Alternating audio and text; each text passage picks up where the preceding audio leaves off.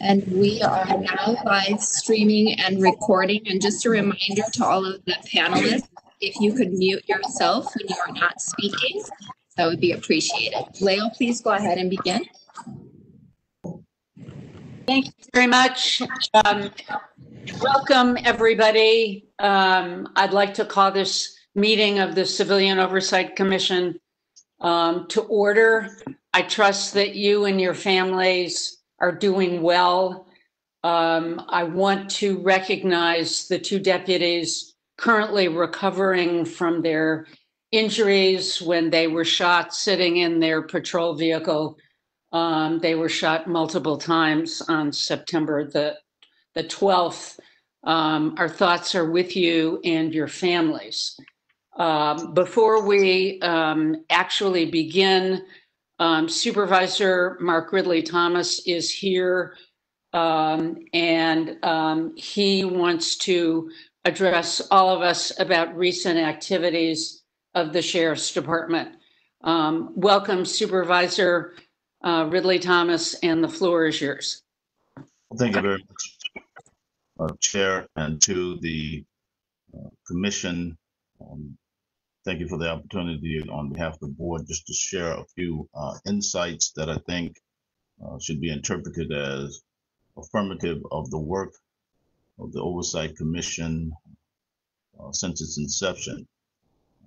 Before doing so, I wish to associate myself with the uh, remarks made by you, Madam Chair, with respect to uh, the two deputies who in the line of duty carrying out uh, their responsibilities and were ambushed.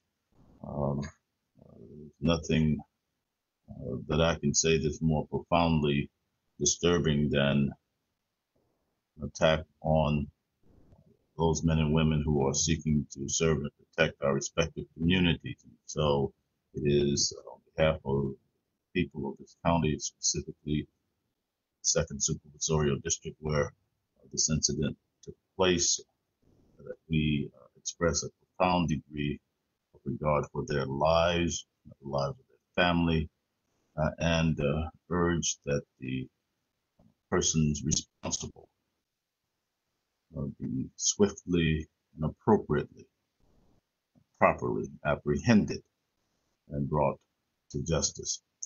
It seems to me that's uh, in line with the very reason for having a citizens oversight commission uh, to be outward facing, to maximize transparency, to cause the community at large to know what is going on in the public safety arena, specifically, Madam Chair and Commissioners, that, that of the role of, of the Sheriff's Department itself.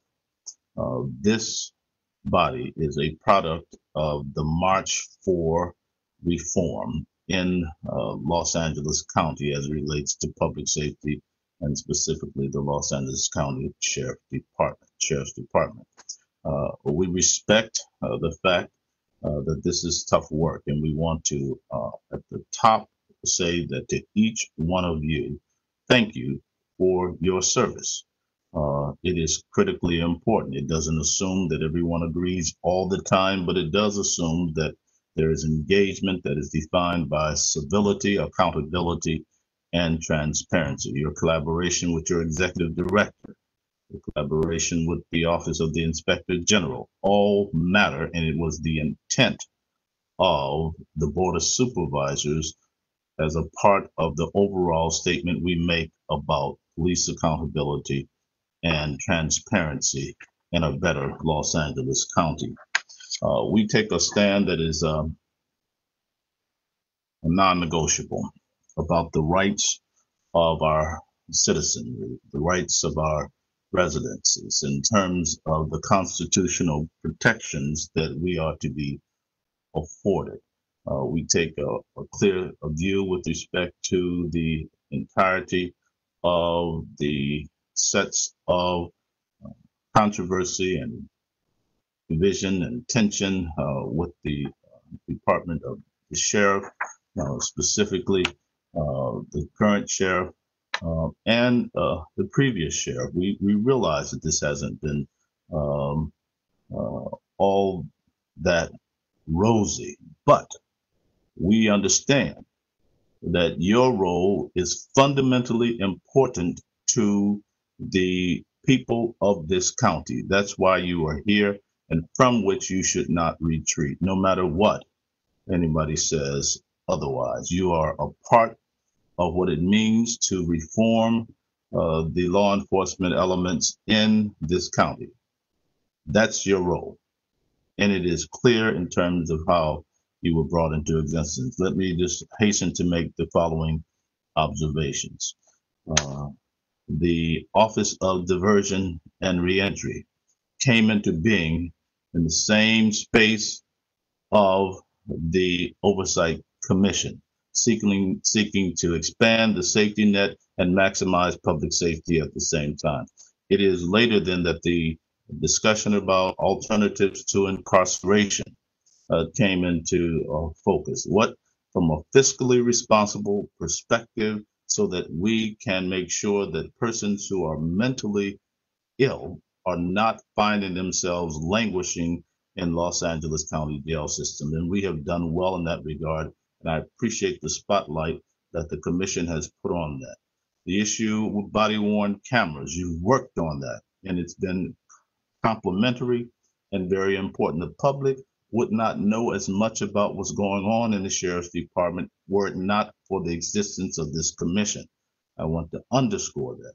Uh, the work that's being done on the family assistance uh, program that's on the agenda for next week of the Board of Supervisors. You wrote the report that made it clear that this was a compelling example of how uh, the County of Los Angeles should step forth in the, into the 21st century and practice humane uh, behavior with respect to those who have been traumatized by fatalities and more within the context of interfacing with the sheriff department.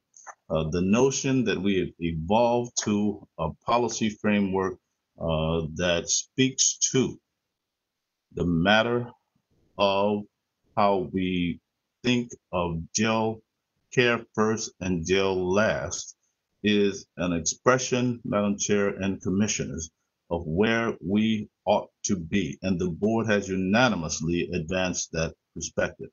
And we want to affirm you in terms of your way of embracing that. It is not contrary to what the sheriff said at the uh, board meeting on this past Tuesday. It is not a policy that advances offenders first and victims last. It is care first and jail last there's a distinction to be made of consequence. And the uh, assertion to the contrary can be contradicted at any point. This commission and the board has sought to represent on behalf of the uh, people of this county their constitutional rights and the like. And so we don't take the position that we need to hammer the uh, sheriff's department uh, for sport or for recreation. We stand in terms of advancing and protecting constitutional rights uh, of journalists, First Amendment rights. We stand and take the position that human rights ought to be celebrated and protected. And we take a position that public safety is fundamental in the county of Los Angeles, and each one of us knows and appreciates that. And so I just simply believe that your role has been value added. Any way it can be uh, described.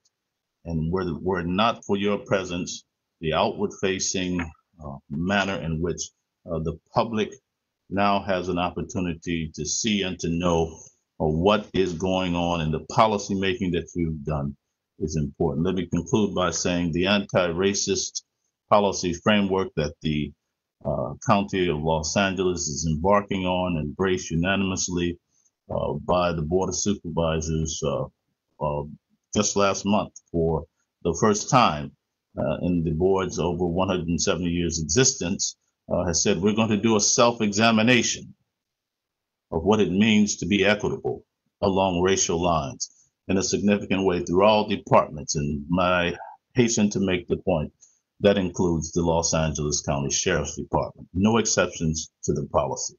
Madam Chair, we thank you for the opportunity to make these remarks, and we appreciate the work that you are doing and trust that the balance of the meeting today will be productive. Thank you so much Supervisor. Um, We welcome your, um, your wise counsel. We welcome your support. Um, And um, as um, we learned from a uh, September 3rd Town Hall meeting, um, we listen in the community and they, much of what we were told uh, by members of the public during that meeting really has resulted in some of the matters that are on the agenda today.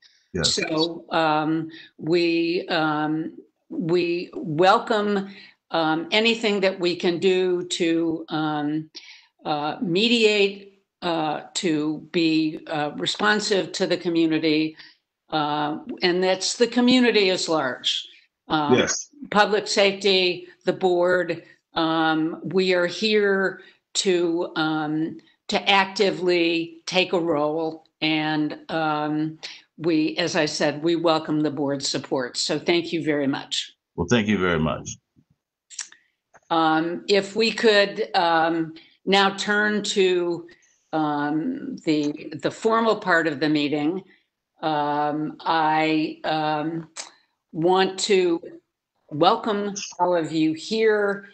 Um, this, um, our next meeting will be Thursday, October 15th. Um, in, in lieu of a, a second meeting during the month, we've made the decision that, um, the, uh, the second Thursday of the month is a, is a good opportunity for the commission's ad hoc committees um, to meet, to hold their committee meetings, um, because the ad hoc committees really are the backbone of what we do. Um, and, um, before we get started, everything is, seems to be a preface this morning. Um, want to make a short remark concerning public comment. It's critical that we hear from you, the members of the public. As I said earlier, we learned quite a lot from public comment at the town hall meeting on September 3rd. Your voice and your opinions are important to us. But with so many people on the call and with our time constraints, we have to limit the amount of time each person can speak. I know the time constraints are difficult. Um, I want you to remember that you can email um, your comments, tweet, or use one of the other platforms to reach us, and we'll distribute your comments to the commission. Uh, I also want everybody to be mindful of their public comment. If any comments verge on urging violence, we will be forced to cut your time short. This is not something that any of us wants to do or anything that, um, that we take lightly, but please be respectful. Um, Ingrid Williams, if you would go ahead and take the roll, please. Sure. Commissioner Bonner, Here. Commissioner Giggans,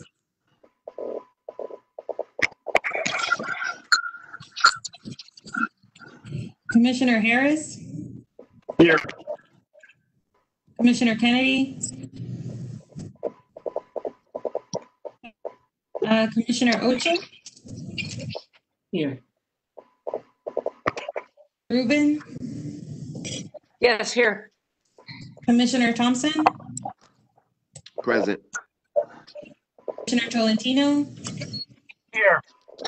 and Commissioner Vera, uh, Vice Chair Vera. Here. Thank you. Thank you very much. Um, Commissioner Tolentino, would you lead us in the pledge, please? All right. I pledge allegiance to the flag of the United States of America and to the republic for which it stands, one nation, under God, indivisible, with liberty and justice for all.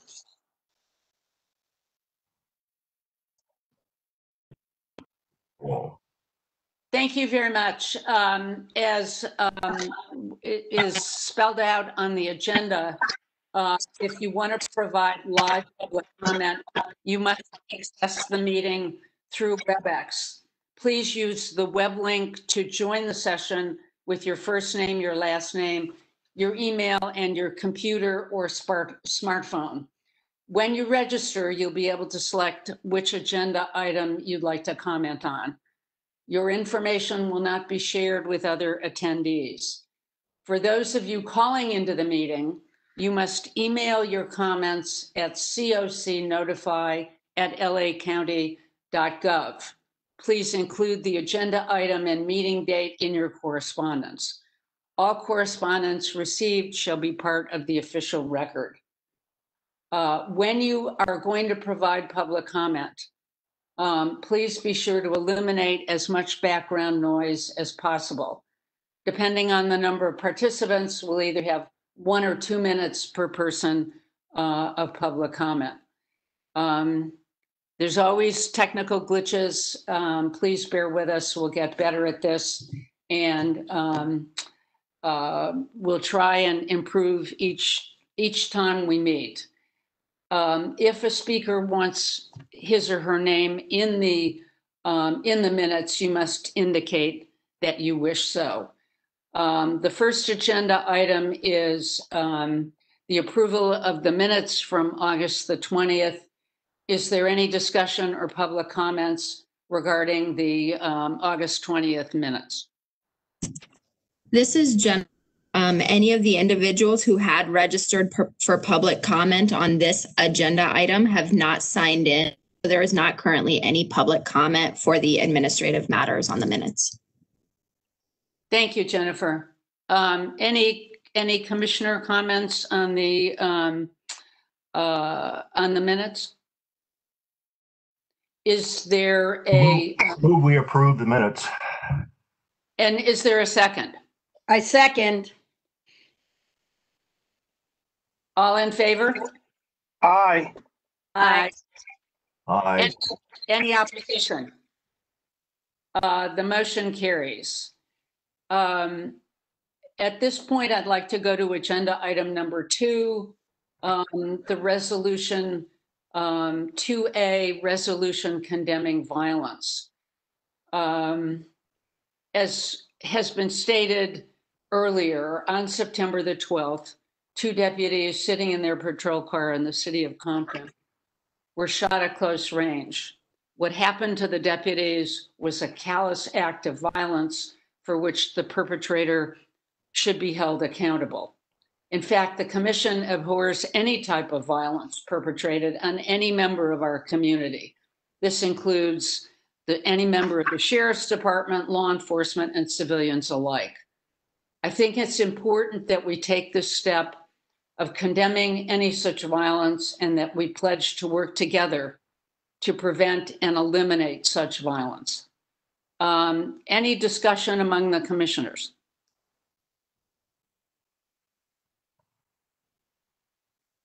Excuse me, Madam Chair.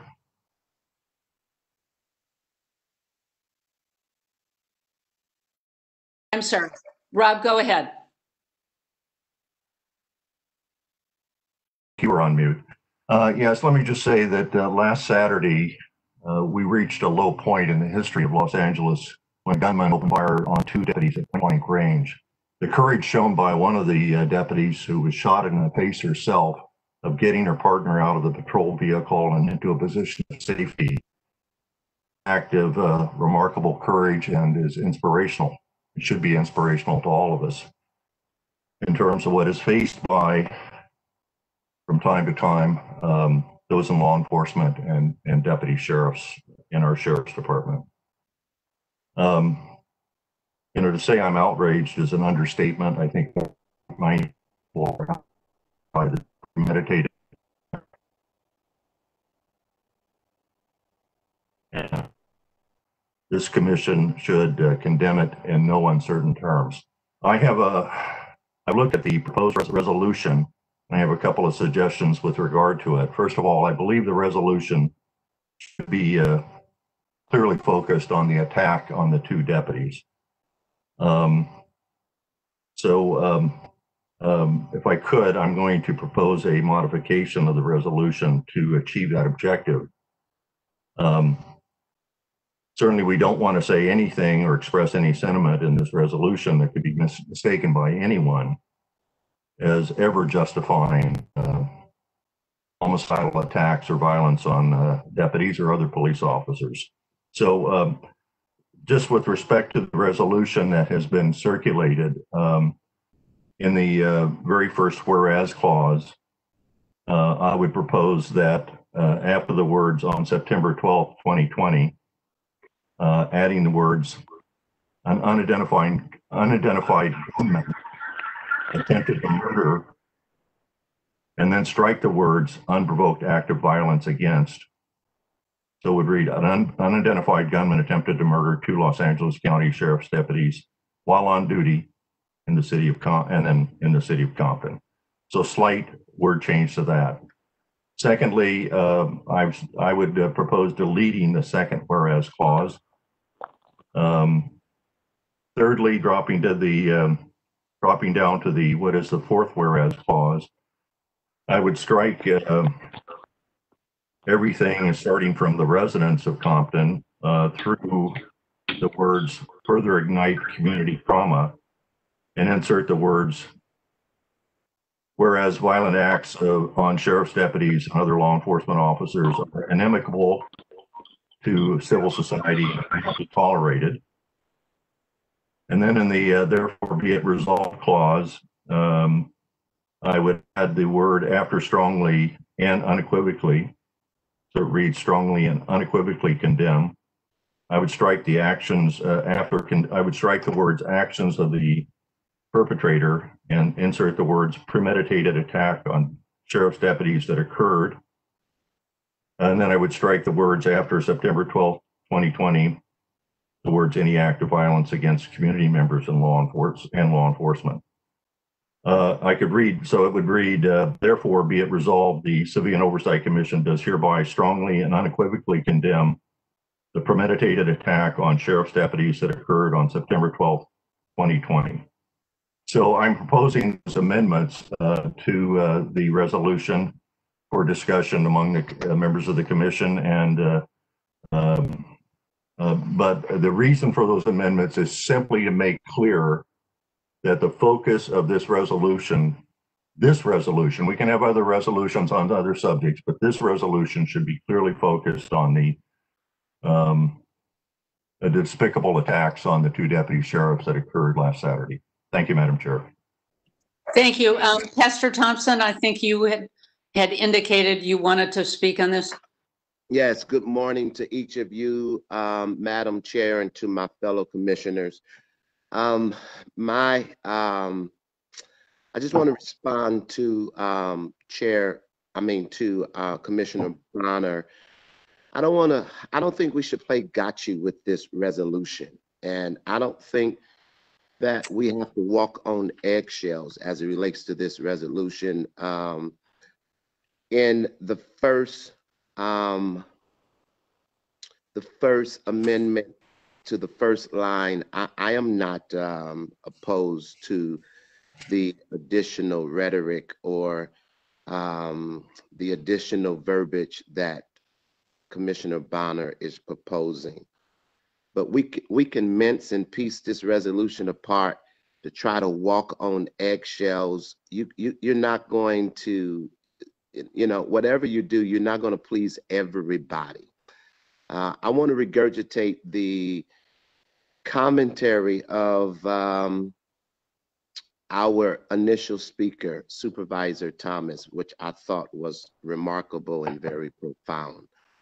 Uh, we serve as a liaison for the community. We serve as a broker of civilian oversight as it for the community for the sheriff department on behalf of the community as it relates to the semantics or the um, amendment to line number one, the unpro, the, I, I forget the, the, I forget what Commissioner Bonner uh, said initially, but I, I have no problem with that. Even with that, I think, you know, we can mince and piece this thing apart.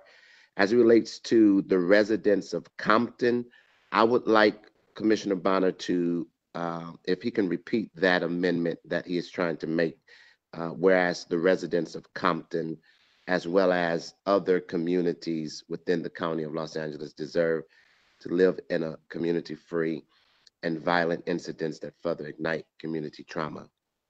And while I'm talking, let me go on record and saying that we're all praying for these two deputies and we're praying that they live, we're praying that they survive, we're praying that they return to some quality um, of life that is, that reflect normalcy. But um, I, you don't, you don't want to come, you don't want to start playing got you politics with this. Thank you, Madam Chair. Um, any other commissioners wish to comment?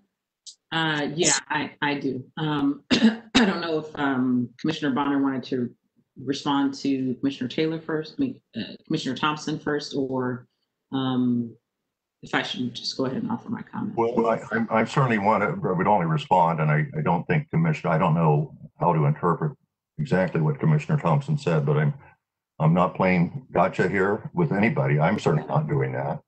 Just Uh, That's ask. not my, that's not my intent, and uh, I just, my intent is only to, uh, uh, to keep the resolution focused on condemning the attacks on the two deputies, period, full stop.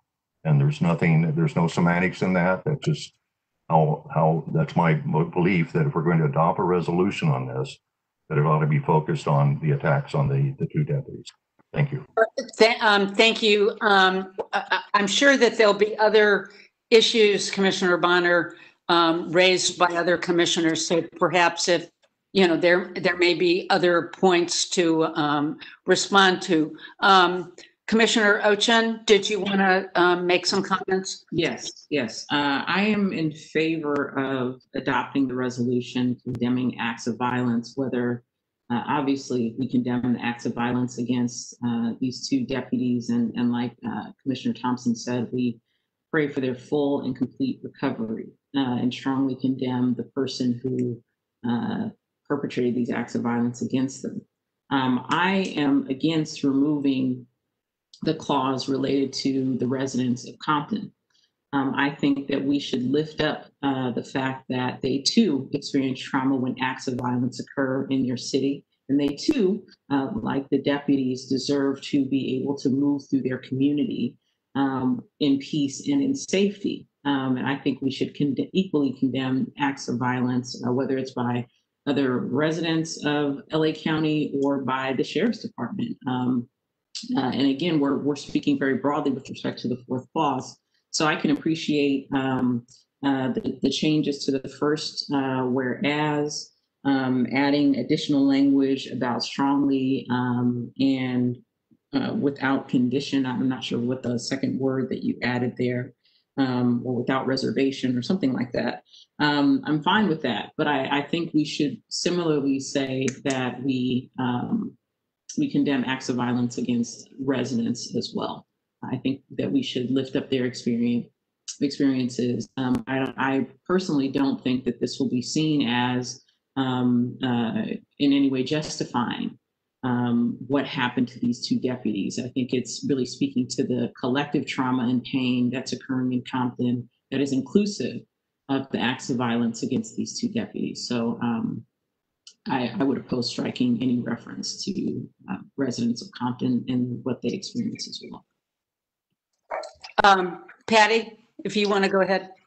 Uh, Yes, I, I think it's important to include this community um, um, because the reverberation happened in Compton, Compton. There were things that happened before in Compton. There are things that are going to continue to happen uh, reverberating after this incident. It's still, things are very, very tender. So I think it's important for us and in our role to acknowledge the community that it happened in. Uh, And it didn't happen in a, a vacuum. Um, so I, I, I agree to include the community of Compton. I do, and I like affirming it a little uh, in the beginning. I can't remember exactly what um, Commissioner Bonner said, but it seemed a little bit stronger in that beginning. I don't see the value of talking about whether there's a suspect that's been identified or not, or whether we're saying that we, we're all members of the Los Angeles community. We couldn't be on this commission if we were not residents of Los, of, uh, of uh, Los Angeles County. So those two, uh, uh, I, I wouldn't mind losing them. They're irrelevant.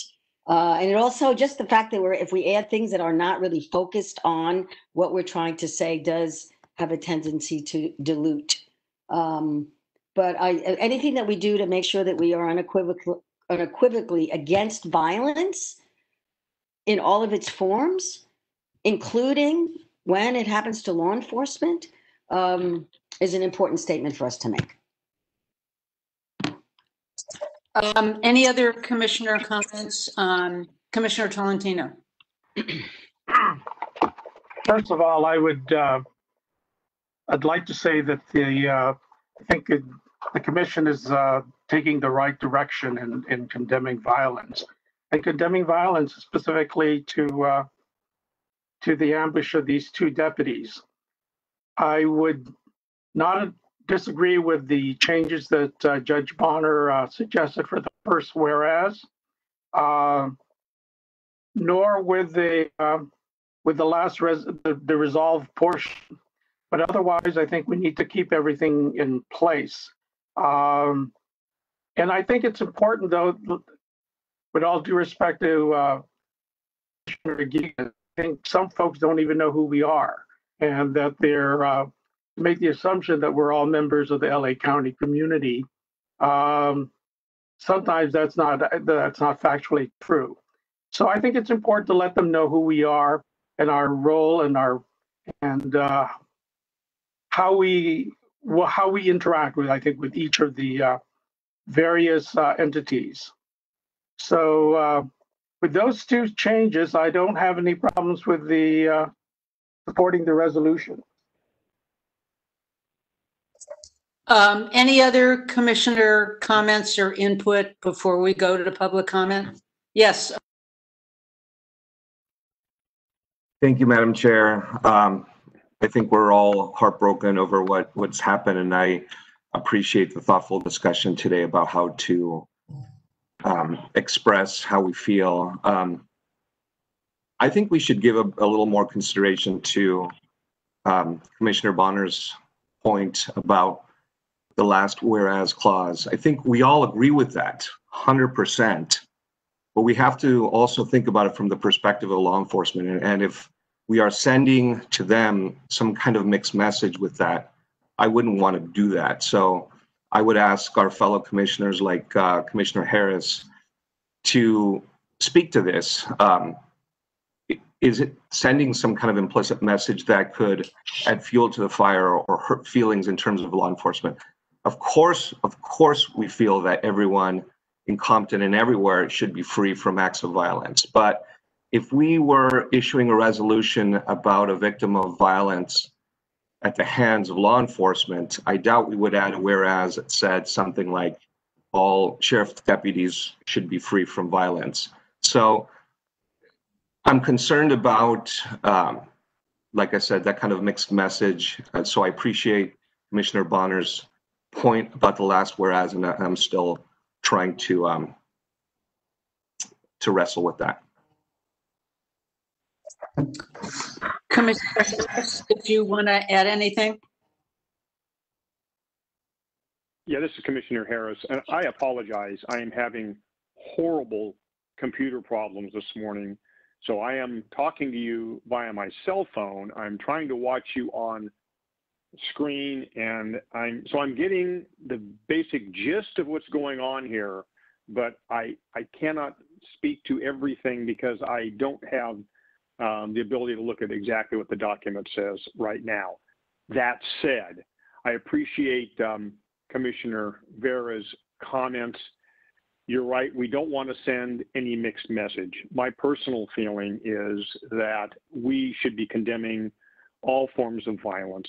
Whether it's in the community, whether it's uh, against law enforcement. I don't, it, it matters not to me where the violence is directed. It needs to stop. Everybody needs to take a step back and say, this is just wrong. There's too much violence in our community. And whether, whether I know there are activists who believe that the police are engaged in violent acts against the community, and if, if someone now in some twisted uh, uh, mind thinks that now we can commit acts against law enforcement, uh, that they're justified, that clearly is wrong, and we should send a very strong message to everyone. I would hope that the members of the LA County Sheriff's Department would recognize that this commission uh, is is is heartbroken at what's happened, but we are not blind to the community's concerns. Also, violence is wrong and it needs to stop, uh, regardless of who the violence is directed at or who the perpetrators of the violence are. It needs to stop. So I'm like uh, Commissioner Vera, I'm kind of wrestling with this myself. We want to send a clear message. Um, and I guess these are the types of things that need a little percolating. They need to really, some very clear thought needs to be given to what we want to say in our public statement. Um, so I'll, I'll end it there.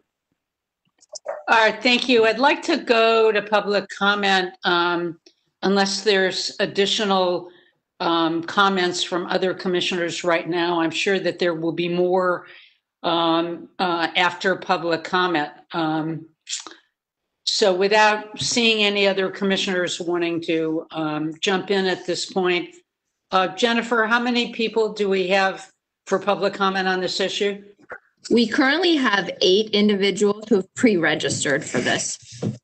All right, why don't we go ahead and, um, and hear from the eight and then we can move forward. Thank you. Thank you. So our first comment will come from Doreen Sanchez. Doreen, please go ahead with your comment.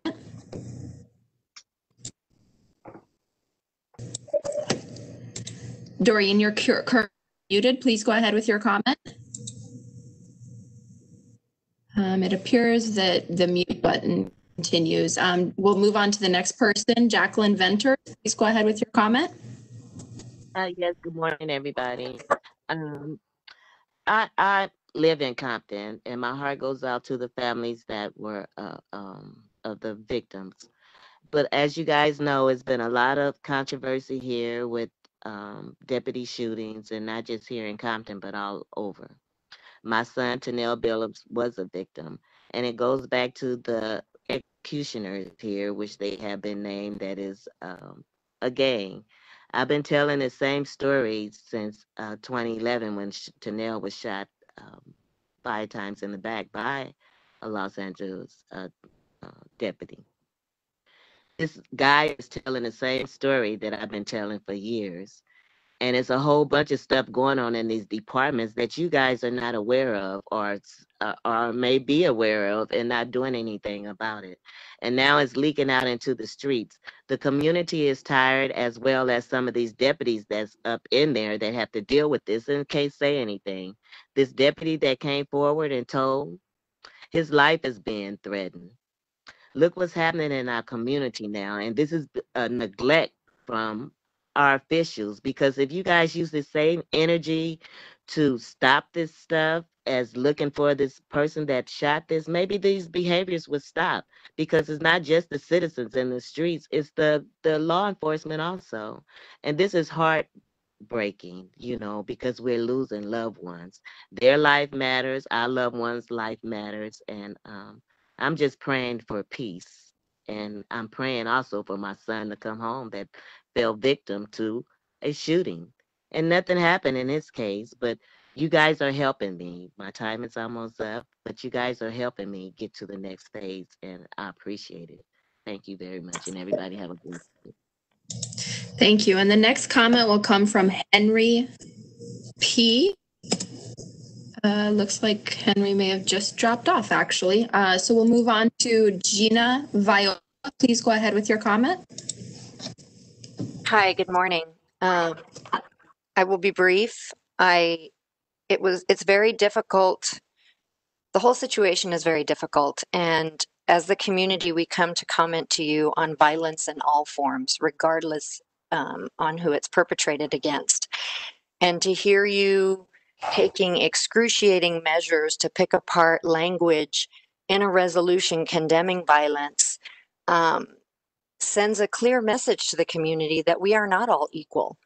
You don't even see us as equal, especially Commissioner Bonner, who goes to great lengths to make sure that it's stated we're not equal. Um, so that would be my concern with a resolution. Um, so that's it. Thank you for your time. Thank you. And the next comment will come from Bernice Onfrey. Please go ahead with your comment, Bernice. Oh, we didn't do the Spanish. Okay, I'm not hearing anything from Bernice at this time. And next we'll move to Audrey George. Please go ahead with your comment, Audrey.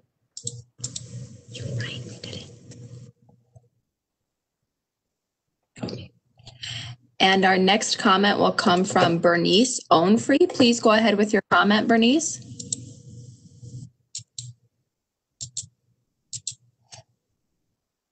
Okay, hearing nothing. Our next comment will come from Audrey George. Please go ahead, Audrey.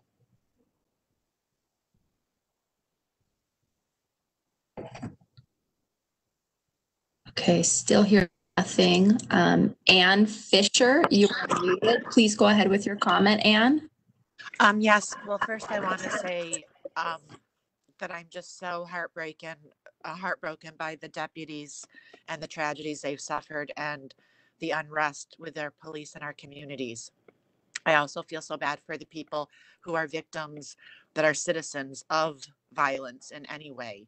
Um, I wrote in as well, but I, I think that anybody making obscene commentary on these calls or threats um, should be banned or discontinued. We need to keep this dialogue being very positive and being about change and awareness and um, our our viewpoints being heard instead of having um, all this vulgarity. Um, I I do think that the body cameras should move more quickly onto the officers. And I think that there should be a two step verification on police reports so that the citizens and the victims of crimes can know that their crime reports were um, taken accurately and that they were possibly uploaded in a portal and they can know that those um, victim statements and police reports were actually logged in so that their uh, crimes can be addressed. Um, I do believe that more protections need to be occurring for the police against these kinds of vigilantes because they are working for us and we need to take care of them and we need to protect them. But we also need to address the police's accountability because I believe a lot of this unaccountability and violence within the police forces and the attitudes and the lack of masks and the, the just the the attitudes need to change because you're representing the leaders. We look to you, and if you're not following the rules, then people don't want to follow the rules, and it's become very dangerous situation and a very, very, very um, poor climate out there. That I think if we don't address it on both sides, it's going to continue to escalate. And I want to appreciate and thank all of you for your time and hearing us and hope Yes. that we can move forward to a more peaceful resolution in the future to where we can really have change for our community and our police force. Thank- Thank you. Thank you for that comment. Um, and before we move on to the next speaker, you have an announcement in Spanish. Si necesita traducción de sus comentarios en español, simplemente diga la palabra español antes de empezar sus comentarios y cuando termine sus comentarios, un traductor va a traducir sus comentarios. Gracias. Thank you. And our next speaker will be Joseph Maizlish. Please go ahead with your comment, Joseph. Uh, Hello, uh, uh, commissioners and, and other staff. Um, It's, it's, as I look over the resolution, which I, I've just gotten hold of, but, uh, uh, and listen to the comments, it is so difficult to deal with something like this primarily by looking at a piece of paper. And I just wish that the commission had uh, more opportunities themselves to have some discussions within themselves and really to share uh, your emotional reactions and of course uh, for the public to share its and then you'll hear the various kinds of ways that people were reacting and be able to frame something after that. Now, perhaps that some of you had that discussion and the resolution is a product of that discussion, but we can see so many uh, other items and connections that if they were expressed in discussion, might make it uh, easier to focus uh, in writing a resolution. Um, the uh, as I look at things, the fourth whereas, whether it mentions Compton or not, uh, maybe it could be explicit, as well as all other communities within the county of Los Angeles, including people in service as county employees.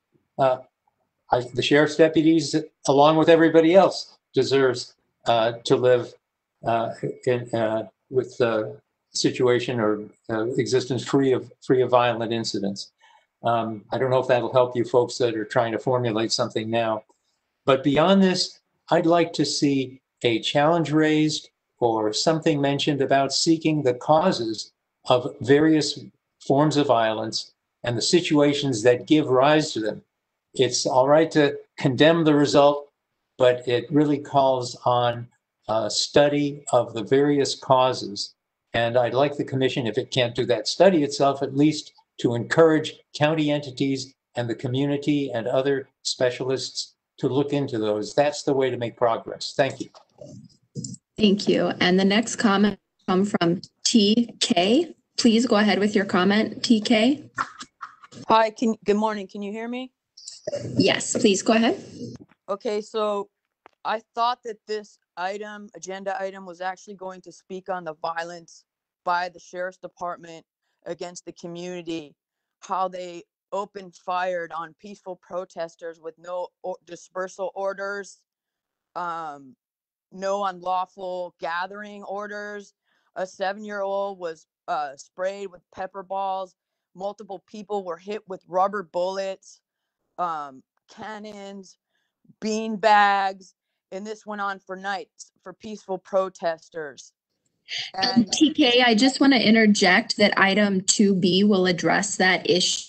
Okay, so And right, if me- you'd like to speak on the, this resolution. okay as far as this um so i don't condone any shape or violence um and this is why the community's been here to speak about police violence um there's been nothing mentioned no heartfelt uh condolences for Dijon Kizzee's family or Andreas Guardado's. Um this particular situation concerned me a great deal and we have to look at police gangs and the violence within the department um, and stop blaming the community because this particular incident i don't feel is uh, at fault of the community but i think um, the commission needs to look within the police gangs themselves because i truly feel this was an inside job to uh, instigate and further perpetuate violence in south central um, compton Westmont, that entire area. Um, and I think the commission needs to do a serious look at the police gangs and stop blaming the community. Thank you. Thank you. And the last public comment will come from Audrey George. Go ahead with your comment, Audrey. Okay, you can hear me this time? Yes, we hear you. Please go ahead. Thank you. Yes, um, I just want to know where the commission's outrage is about all the corruption, violent sheriff's gangs, stolen lives of victims of deputy shootings, the harassments of family, the, the cooperation with ICE. Why don't you issue a resolution each time we tragically lose precious civilian lives, such as Ryan Twyman, Andres Guardado, or Dijon Kizzee? So, um, you know, the other thing that really angers me so much is the false accusations the sheriffs allowed to be made against, you know, encouraged and and uh, fomented against an innocent black man without any evidence at all. You know, really um, harming him, possibly ruining his life. The unwarranted and unproven racial profiling of the shooter, that was another factor that this that the commission should be looking at um, there was no evidence at all about the race of the the shooter from the videos and the fact that um, it was that statements were made publicly by sheriff spokespersons that um, indicated that it was a person of color. It's outrageous. I want to know, I want to hear you express outrage about all of these things and, and, and, and do resolutions about all of it, not just this shooting of these two sheriff deputies. Thank you. Thank you. And Lael, that does conclude the public comment, this agenda item. All right, thank you very much. Um, and thank you for those of you who offered public comment. Um, it's important to try and keep your public comment to the specific agenda item because we have others um, that you may want to address as we move ahead. Um, what what I'd like to suggest is um, it seems to me that there um, uh, the basic issue here um, with the resolution is whether it just um, it just focuses on um, the um, the ambush shooting um, of the of the two deputies, or whether it speaks to violence generally. Um, we've uh, we've certainly heard from the community, both in the um, in the town hall and and at our commission meetings, that um, they really want um, to know that we are condemning all violence, however it occurs, and um, and I think to include the reference to uh, violence in the community um, doesn't detract from um, the um, the the awful, um, tragic um, shooting of the two deputies. So I, um, well, Agree, John, period. we are certainly condemning. To the sheriff. Um, we are certainly condemning what, um, what occurred in the shooting of the two sheriff's deputies and are very grateful that, um, that they are going to recover. But I think it's important in the same vein to, um, uh, take, uh, to make a strong statement about violence in the community. And, I- and I think that's where, um, where I differ from, um, from your suggestion, Commissioner Bonner, and, um, we may end up needing to take a vote on that. So, um, if you want to address that further, uh, or anybody else wants to speak on that issue, please go ahead. Thank you, Madam Chair. Yeah, I, I, I do think it detracts from the message that we're trying to, I think we're trying to make that condemns the, uh, the attacks on the deputy sheriffs to um, uh, combine it with uh, uh, what is, uh, what I would think of, and by the way, I would support a separate resolution condemning acts of violence in Compton or against citizens and residents of Compton. That's a separate issue. Maybe we should have a resolution on it. Uh, but I would like to disaggregate uh, and not complete the two, uh, the two issues in, in a resolution that ought to be clearly on point. Uh, look, I, look, I, I think we should get some answers to some questions. It's not a resolution. We ought to get answers to the use of lethal force uh, involving Dijon Kizzee and Andres uh, Rodado. Uh, if either of those two uses of forces were unjustified, neither one of them occurred in Compton, by the way, the deputies involved should be held accountable. Um, and we need uh, we need reforms to assure accountability. And we proposed 18 reforms. But this is this resol- resolution should be targeted toward one thing. They shouldn't be trying to cover multiple things. We're trying to do that here, and and then we we dilute the message. Uh, we make an ambiguous message, uh, and we shouldn't do that as a commission. If we're going to do resolutions, let's make them clear cut. Let's make them focus, and therefore, the only issue here is the fourth whereas clause. But I I think anyway, but uh, I I just don't think we should.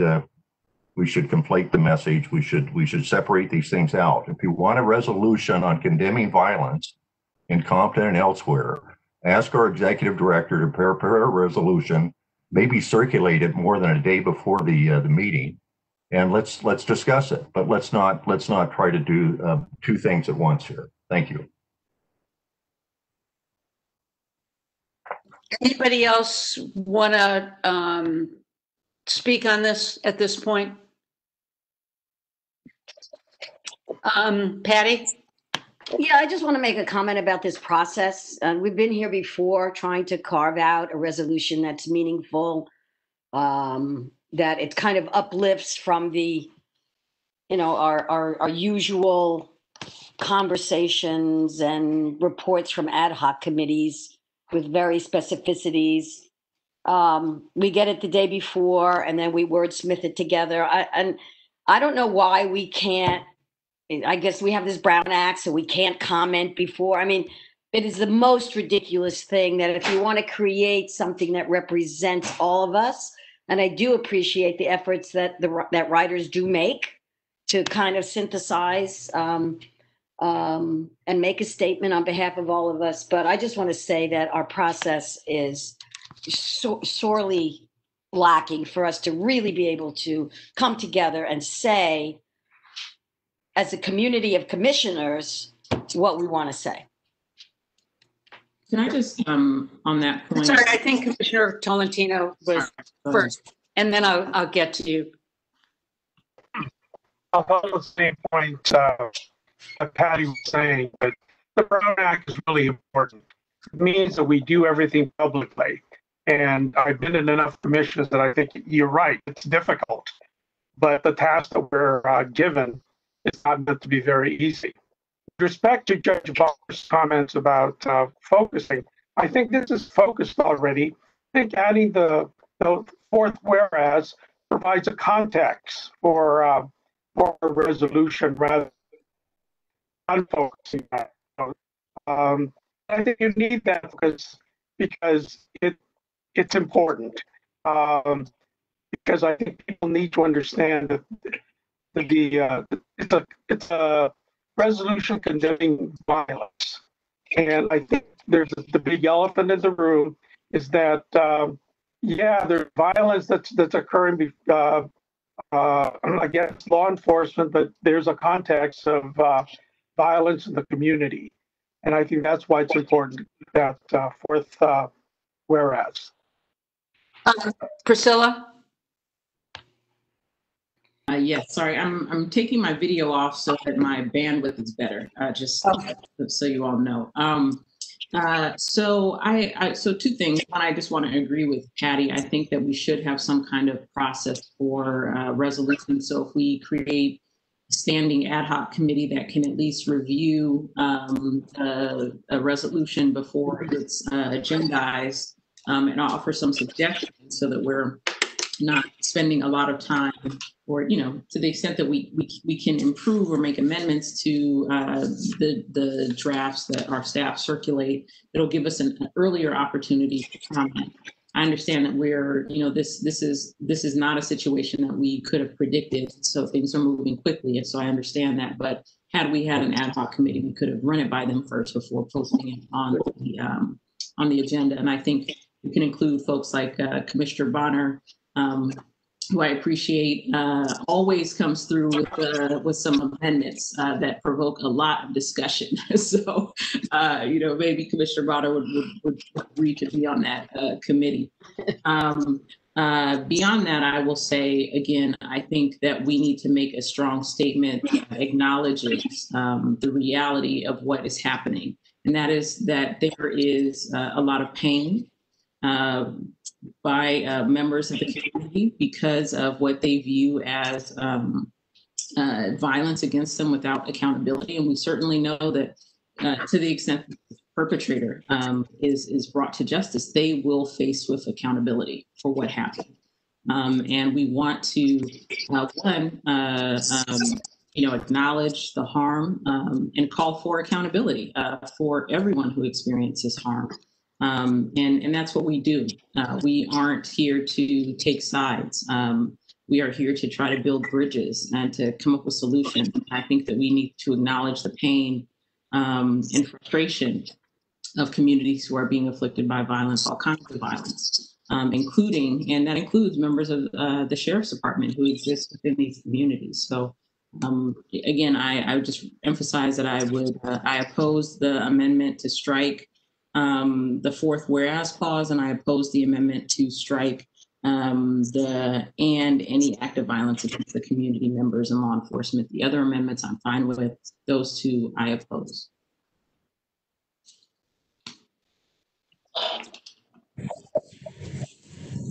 Madam Chair? Yes, go ahead. Might, might I suggest this because I do understand the difficulty in trying to wordsmith a resolution uh, during an actual meeting.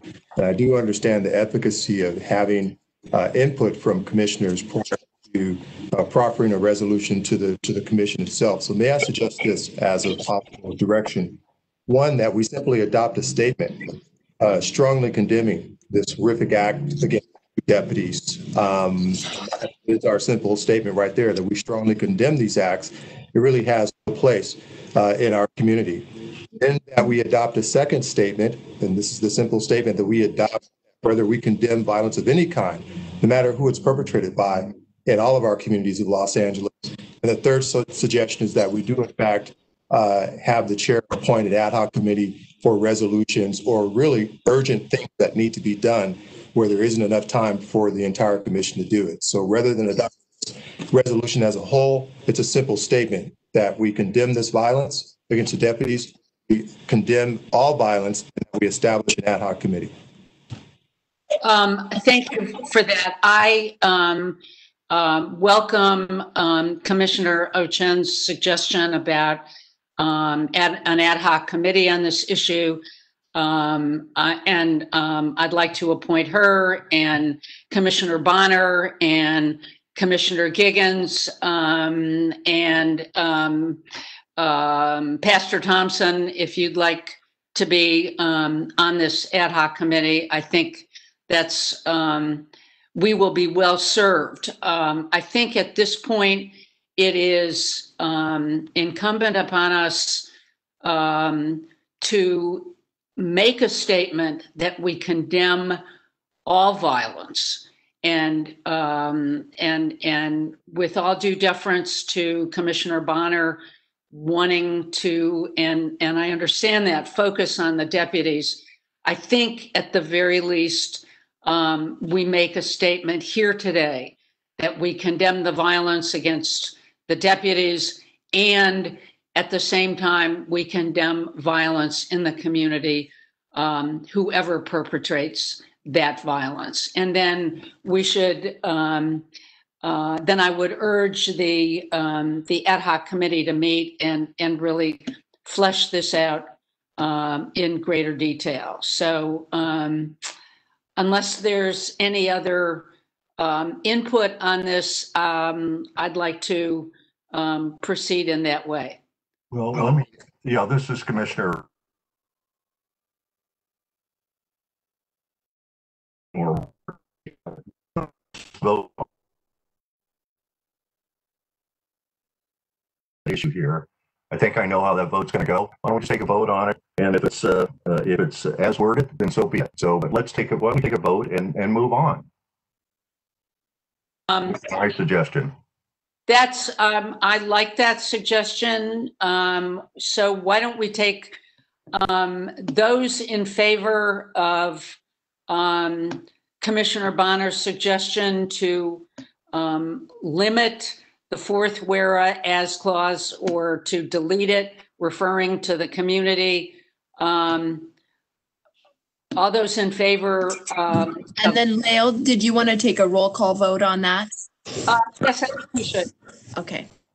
Could you repeat, could you repeat that? Yeah, the, uh, What are we voting on? Okay, this is S for S clause, and the uh, proposed change would be in front of you, whereas, and then deleting the words that begin with the residents of Compton through the words, uh, community trauma. And inserting in lieu of those words, the words violent attacks on sheriff's deputies and other law enforcement officers cannot be, uh, tolerated. Can I, can I say something? Um, yeah, Pastor Wilson? Vote um, Commissioner Bonner? on whether you want to adopt the language that focuses this or you don't. Yes, Right, I, I understand, but I, Pastor Thompson wanted to speak on that. Commissioner Bonner, whe- uh, uh, whereas the residents, uh, can, can you, can you repeat your amendment? yes, I will. Okay, thank you, uh, Pastor Thompson. So the amendment would be uh, the, the last whereas clause. And rather, it, rather than reading, it would strike the words, the residents of Compton. I'm going to read the whole thing that's stricken here. The residents of Compton, as well as other communities within the county of Los Angeles, deserve to live in a community free of violence, free of violent incidents that further ignite community trauma. Striking those words and in lieu of those words, inserting the words violent attacks on sheriff's deputies and other law enforcement officers are inimical to a civil society and cannot be tolerated. All right, th- thank you. I think that the, that the difference really is um, limiting the, um, the resolution to the sheriff's deputies and law enforcement, or also including members of the community. Um, One more comment, and then I think we should have a vote. Patty? Yeah, I just want to add to the entire discussion, uh, and I've studied violence for decades. All violence is contextual. And it behooves us when we make a statement, because it's easy to just condemn violence. It's important to touch upon or point out the context. Thank you. Um, Shall we go ahead with a, with a vote? Okay, Go ahead, then. okay. Uh, Commissioner Bonner, I would vote in favor of my amendment. Commissioner Giggans, Oppose. Commissioner Harris, Opposed. Commissioner Ocen, No, no. Commissioner Rubin. Ruben, can you repeat that, Chair Rubin? Opposed? Commissioner Thompson, No, opposed. Commissioner Eno, Opposed. and Vice Chair Vera. Opposed. Thank you.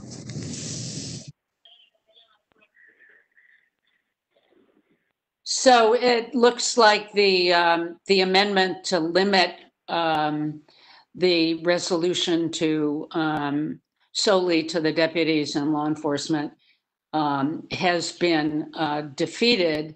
But I do think it's, it's essential, uh, in terms of, um, fleshing out the remaining issues and the language for the ad hoc committee to meet um, on this and and um, and draft something that um, is worthy of our consideration.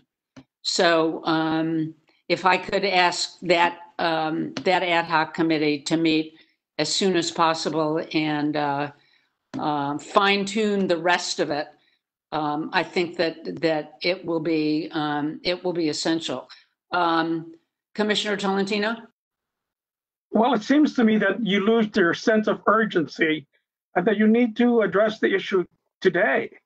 Uh, setting it out again takes the whole month out. Uh, I don't think there's that much uh, controversy or conflict with the rest of the words. So it seems to me that I, I would suggest that we make a vote today. Um, any, anybody else have a comment on I, this? I second that. I don't know if that was a motion or an idea, but I, I second that. I think we'll move ahead with a different context, but um, I I think we should move ahead today. All right, shall we, um, shall we take a vote on that? Sorry, just to be clear, you mean, when you say that, you mean the resolution? To take a On the vote. resolution, um, uh, without, without, uh, Bonner's amendment.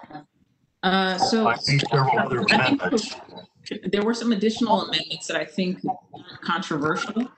Um, so if, uh, Chair, former Chair, uh, Bonner can, uh, describe those amendments so I can just mark them on my sheet, on my, uh, draft, uh, so I can know what, what we're voting on in terms of, um, the exact language. So if you could start with the first clause. Yeah, the first whereas clause, and I think there was general agreement on this, but let me read the change.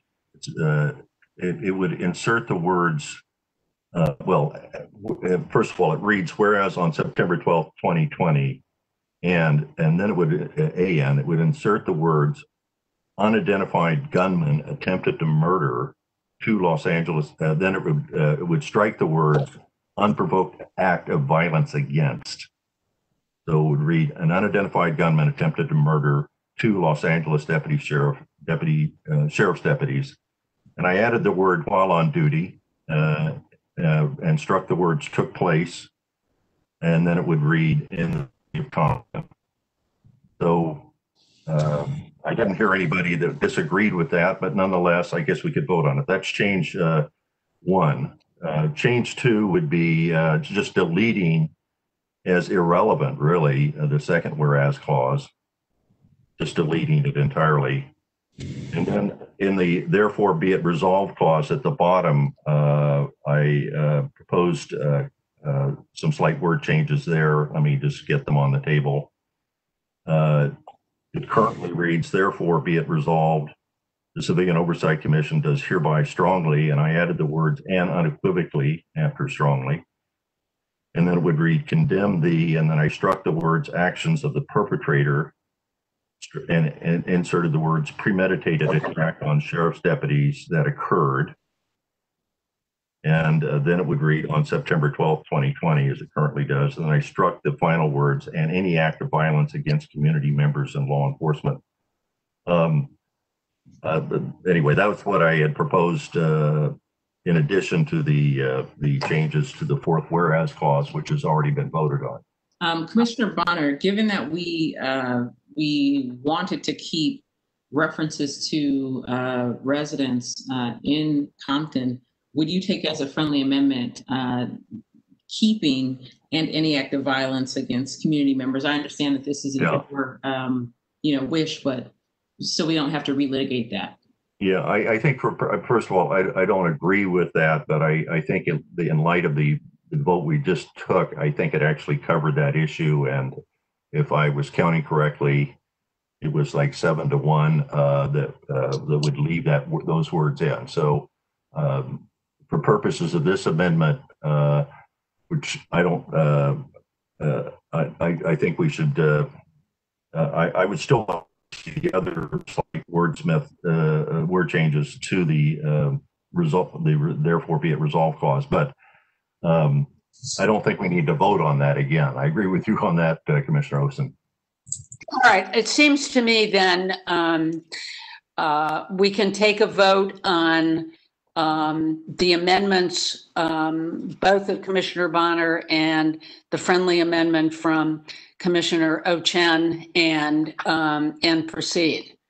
Um, So um, if we would uh, go ahead and take a vote, please? Chair, Chair, Madam Chair, before we, before we take a vote, just for the record, is Commissioner Bonner agreeing to include and keep the, um, the, the verbiage, the language, um, and, uh, any act of violence against community members and law enforcement? Is that a affirmative, Commissioner Bonner? I, I think the vote includes that. In other words, if you approve this resolution, uh, uh, or the motion, it's not my motion, but if you approve the motion, the, that language would stay in. uh, Okay, Commissioner. thank you. I Yeah. appreciate it. Thank you. Thank you so much. All right, can we um, proceed with the vote, please?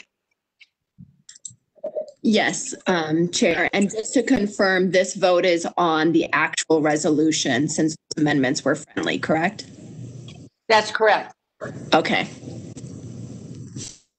Commissioner Bonner, Pass. Commissioner Giggans, Yes. Commissioner Harris, Yes. Commissioner Ocen. Yes. Rubin, Uh, yes. Commissioner Thompson. Commissioner Tolentino Yes. And Vice Chair Vera. Yes. Motion carries. Thank you very much. Um, I know that this was sort of a, a, a tortured way of proceeding and hopefully in the future with, uh, ad hoc committee reviewing um, resolutions before they get presented to the entire um, commission, I, I think will be more effective. Um, I'd like to move ahead to agenda item 2B. Um, That's a discussion and update of the Los Angeles County Sheriff's Department enforcement activities at public protests. Um, Since the onset of the civil unrest in May of 2020, many protests have taken place within the county of Los Angeles, some of which were policed by the sheriff's department. Uh, it's come to our attention of a recent incident. A member of the local media was arrested, and it's alleged by the sheriff's department that she interfered with them and did not identify herself as a member of the press.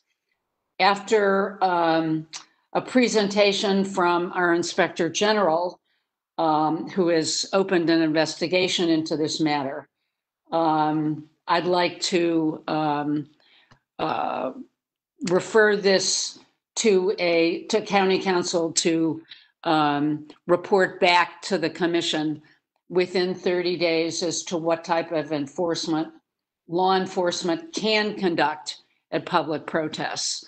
Um, the the uh, the chat out there has just been um, very critical, and it sounds like it is rightly so. Um, but at this point, I'd like to um, turn this over to Inspector General Huntsman. My office is investigating recent Sheriff's Department actions which may violate the United States Constitution's guarantee of freedom of the press. In these investigations, we have requested the cooperation of the Sheriff's Department and not received it. The Sheriff's Department has provided information to the public through its PR arm and during personal appearances by the sheriff. Unfortunately, all evidence we have currently gathered suggests that significant parts of the claims made by the department may have been false. The information we have gathered is preliminary and not intended to substitute for a complete investigation. The first incident occurred on Friday when deputies in riot gear converged on a press conference related to the Dijon Kizzee shooting. Subsequently, a member of the National Lawyers Guild was shoved while filming. The sheriff's department defended the action by stating that they were removing the public from the parking lot of a local business at the request of the manager. Based upon our initial review, this claim appears likely to be false. Video evidence and witness accounts indicate that the event took place in a parking lot which belongs to the Department of Probation and is open to the public. The second, second incident occurred Saturday night after a press conference conducted by the sheriff regarding the condition of two deputies who were severely wounded earlier in the day. After the event, reporter Josie Huang attempted to film an arrest and was herself arrested, transported to jail, and cited. After gathering the facts, the sheriff's department has made claims about the arrest which appear false based upon video taken by Ms. Huang and others at the scene. Ms. Huang appears to have been wearing press identification, to have clearly identified herself as a reporter and been understood by the deputies, and most importantly, committed no crime. Penal Code Section 148, obstructing a peace officer, specifically provides that recording video of a peace officer is not obstruction. An excellent analysis of the facts can be viewed at laist.com, the website of an organization affiliated with Ms. Ms. Huang, and an extensive uh, video record can be found on Ms. Huang's Twitter feed. Yesterday, a deputy used a flashlight to prevent filming by of an arrest by Fox LA. The sheriff, in that case, made a personal apology within three hours. Actions by government which suppress reporting or intimidate reporters are strictly prohibited by the Constitution. The use of public funds to issue PR statements without regard to their truth or falsity is improper the sheriff should immediately remove the block he has placed on OIG terminals and allow himself to be interviewed under oath regarding his public statements about Ms. Huang, as well as allegations he ordered the destruction of evidence relating to the death of Kobe Bryant. When the sheriff's department places itself above the law and disobeys the Constitution and state and local laws requiring oversight, the difficult job of law enforcement becomes harder, not easier. All the dedicated public servants of my office support the brave women and men of the Sheriff's Department, and we ask only that the sheriff support us by following the law. Um, Thank you, Mr. Huntsman. I, I, I think that um, the concern is um, initially, I mean, there, you've, you've covered many issues here, but the concern initially is um, what happened with the arrest of um, Josie Huang from KPCC, um, how she was treated. Is that um, a, a constitutional violation? Um, and um, where do we go from here with that?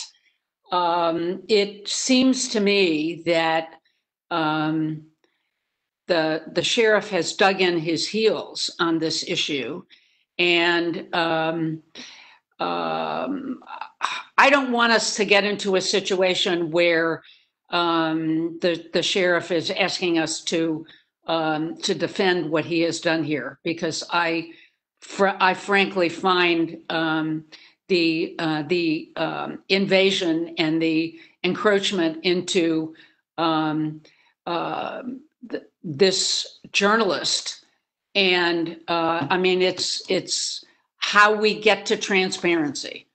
Um, we talk about transparency. The sheriff talks about transparency. We talk about transparency um, within the community uh, and we want the community to understand where we are going with this. And um, and and I think it's um, it's pretty outrageous um, to just have this sit out here and um, uh, and not have any any resolution. So I, I don't know if any commissioners want to speak on this. Um, yes, Priscilla. Uh, so I just had a question about the scope of uh, the investigation um, uh, to the extent that it can happen given the obstruction.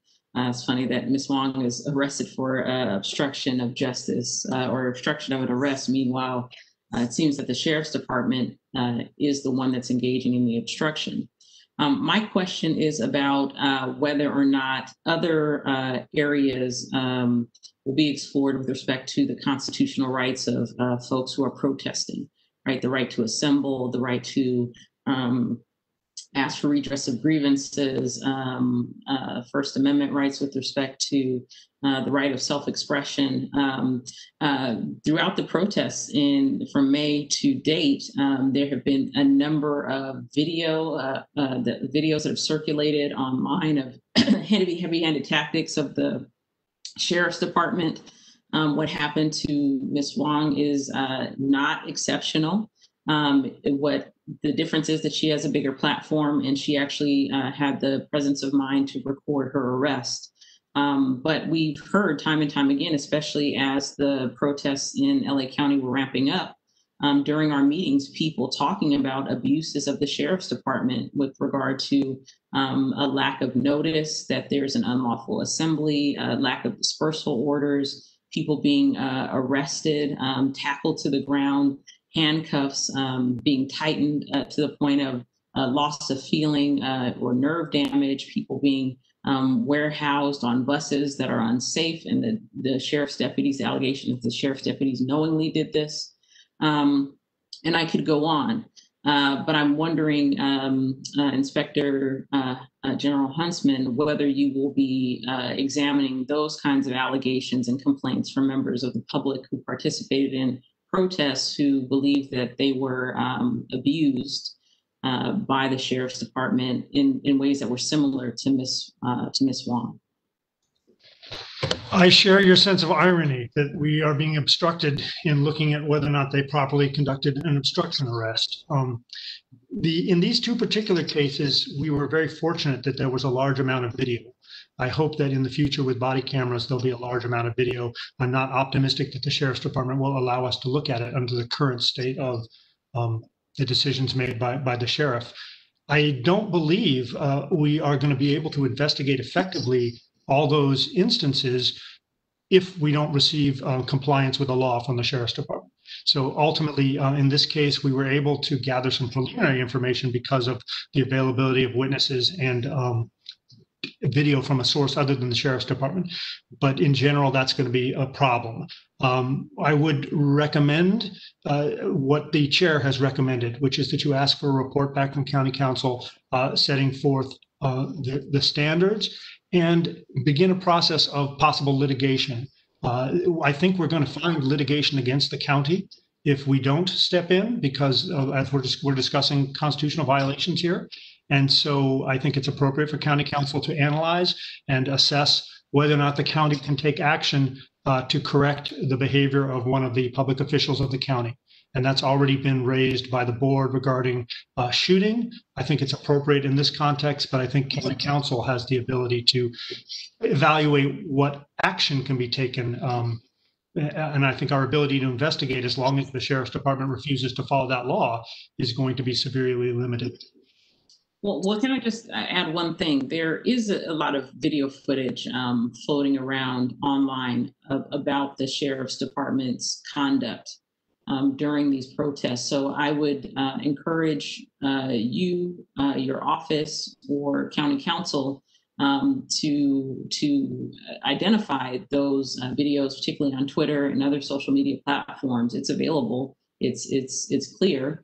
Um, we just don't have a single person uh, uh, whose arrest we can focus on. But uh, I, I would encourage you to look at that footage as well, because I think it also does provide context for a pattern uh, in practice um, that the sheriff is engaging in in terms of these uh, frivolous arrests, essentially to intimidate people from uh, protesting or calling attention to the sheriff's department's abuses. So it's it's available. So so Josie Huang's arrest is not unique in that there's video footage. In many other instances, there's there's contemporaneous video as well.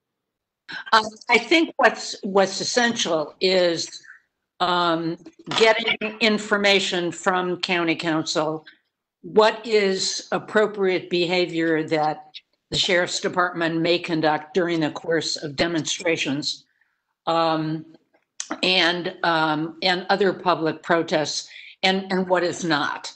Um, I mean, we can talk about um, the uh, the the reporter because um, there's a lot of footage and First Amendment issues regarding um, a journalist, but um, but I am also concerned about members of the public who chose to protest. What are those rights?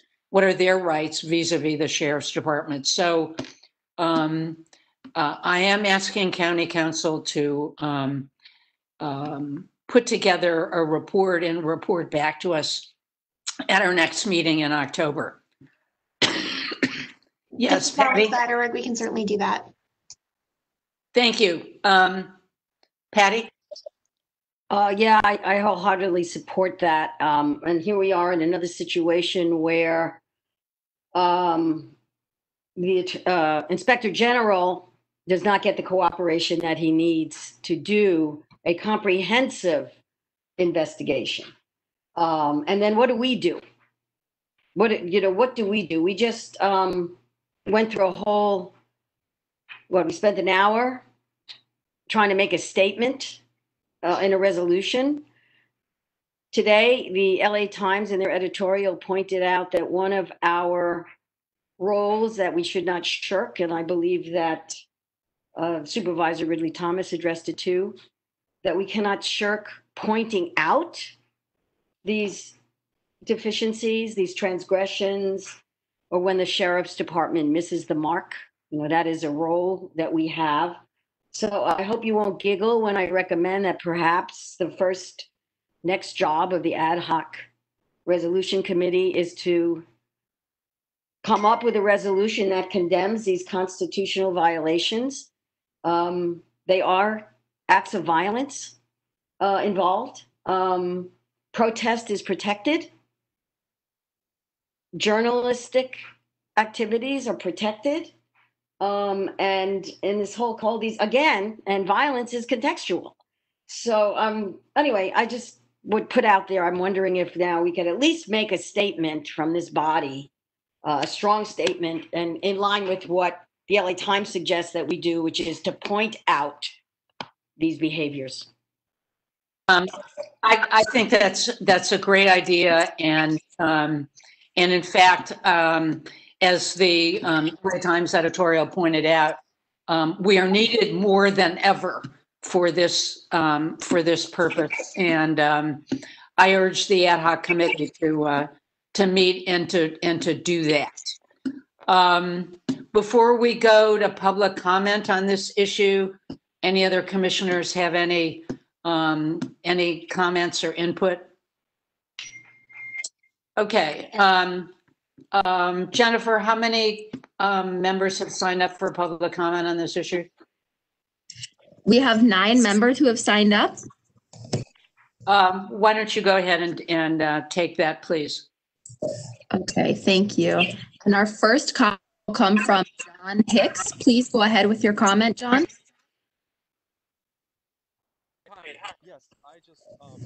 John, could you please speak closer to your microphone?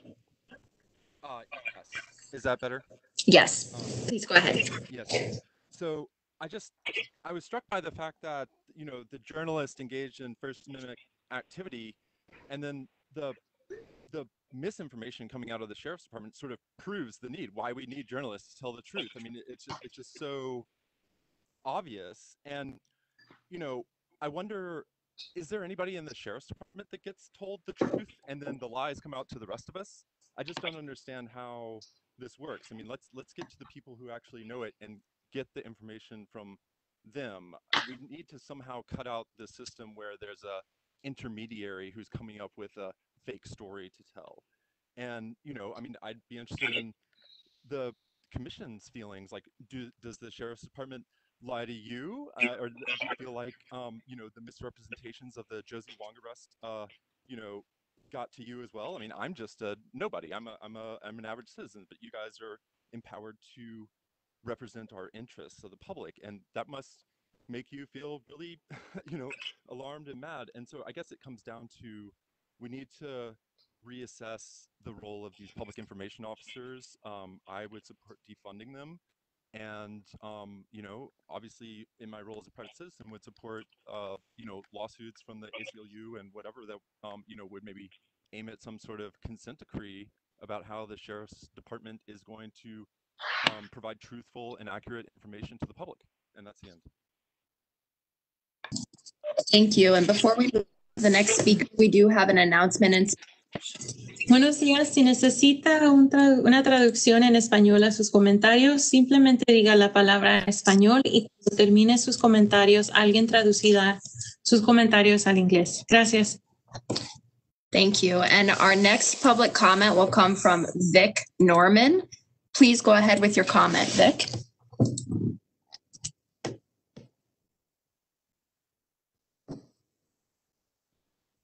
Okay, we'll come back to you, Vic. Um, next, Michelle Infante, please go ahead with your comment. Hi, good morning, everyone. Um, you know, you need to write what it is. It's scandalous what the department is doing. They're not transparent. They're not accountable. You've known this for years. It's been going on for centuries. These families come to you and they cry with pain and anguish. And then you have people jump on here or commissioners suggesting that these families um, shouldn't be using the language they're using. It's frustrating to sit back and watch after the last six years a department when it changes from one administration to another to continuously be able to harass families and that retaliation and intimidation and deputy ga- deputy gangs you can't even use the right language for what's going on. It's painful to sit back and, and watch this and see that i don't know politically that your hands are tied. It's frustrating. These families are in pain. Pain. And all the department can do is come out and lie uh, to the OIG, to the community, to you as a commission, and your hands are tied and there's nothing you can do, you need to make your message scandalous and it needs to be factual. And there's no reason why you can't apply everything that you know from over the last three years to whatever it is that you're trying to make right now. I would implore you to please make your ad hoc committee and your report as scandalous as possible because the facts are out there. And I think the people you you know by watching these people and listening to them that they're tired of it. And they're looking at you to make that representation for them. And so I implore you to please use the language and all the facts that you have to represent what is really going on in the community. Thank you. And the next public comment will go back to Vic Norman. You are unmuted. Please go ahead with your comment, Vic. Been waiting for some, uh, for some phone call that's supposed to do this, but I don't Vic- know if I can be heard at all. Vic, Can you you hear- are being heard right now. Yes, we hear you. Please go Obviously ahead. not. with your Okay. comment. Okay, maybe he's not able to hear us. Um, next, we'll go ahead with Gina Viola. Please go ahead with your comment. Thank you. Um, it's just so troubling how long we've actually seen the sheriff's department do what it needs to to quell protest and assembly. And one place that you can look to for a historical example is at the Jackie Lacey protests that have been happening once a week for almost three years. It will be three years that we have been there uh, weekly this October, and the police have done, the sheriffs, I'm sorry, have done all that they can to prevent us from assembling peacefully there. And now that the protests have grown in such a size, the outrageous setup of the sheriffs is egregious. They are there as early as maybe one o'clock when we don't start until three assembling uh, blocks all the way around. Um, it is just an outrageous uh, show of the funding and the waste of funding and the waste of monies for a peaceful assembly that happens week after week. And I am grateful that there are, is footage online. And I would hope that something actually does get done. But the sheriff's department is in the habit of actively stonewalling any attempts to look into its inner workings. I mean, a former sheriff, uh, Lee Baca, is currently in prison for his role in blocking the FBI investigation into him. And this current sheriff, Villanueva, has defied subpoenas from this Civilian Oversight Commission to testify about the jail conditions during COVID. Um, so I'm really troubled about how we move forward in any type of accountability and transparency and how we are going to hold uh, anyone responsible for anything that happens that the sheriffs do. Thank you. Thank you. And our next comment will come from Berenice Onafree. Please go ahead with your comment. Uh, Good morning. Good morning. Please go ahead. Uh, I am a county resident for over 50 years. I know it's not your your your decision, but I have a concern for the demographics of this commission.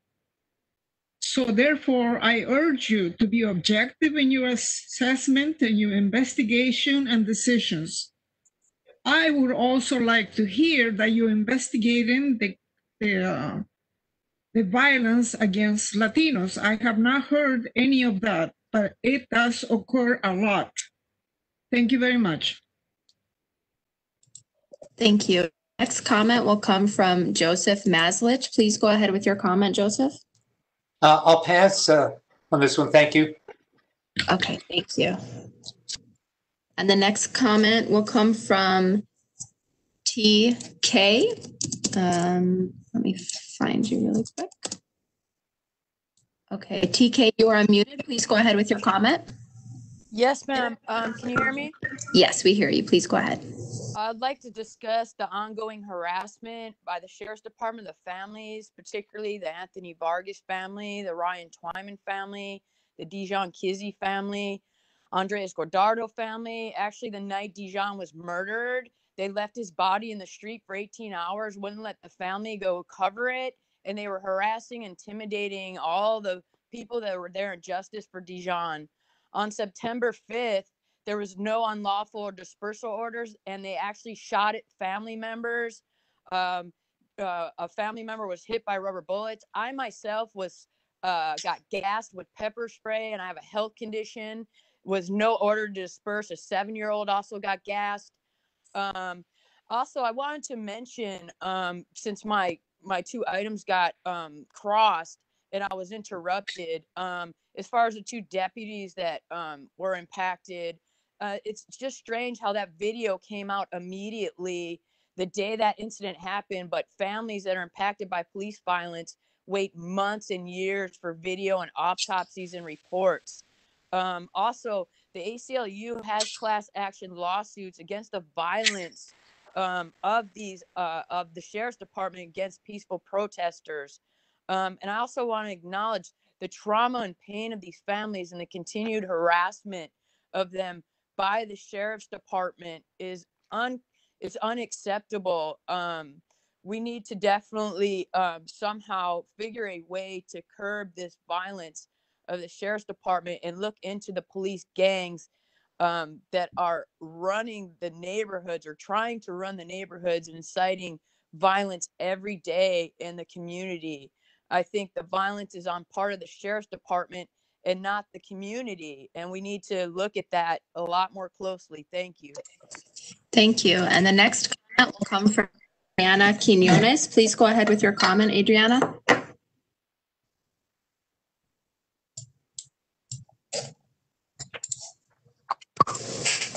Adriana Quinones, you are unmuted. Please go ahead. with your comment. Uh, Hello, can you hear me? Yes, please go ahead. Okay, thank you. Good morning. Uh, I have a lot of concerns. Uh, the major concern that I have, and many, many members of my community of Hacienda Heights, is that there seems to be a political battle between Los Angeles County Board of Supervisors and uh, uh, Sheriff Villanueva.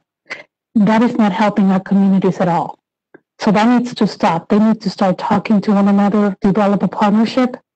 What I would suggest is that uh, an advisory board uh, be done in every community composed of local residents, local uh, law enforcement, and local elected officials. That is working in our community. We work very closely with law enforcement. Uh, they are very transparent. We have monthly meetings as to what is going on in our community. They listen to our concerns. So I would suggest that we go back to basics and talk about that. Um, one thing that is really bothering me is that the uh, oversight committee, uh, most of the members are very negative towards the law enforcement.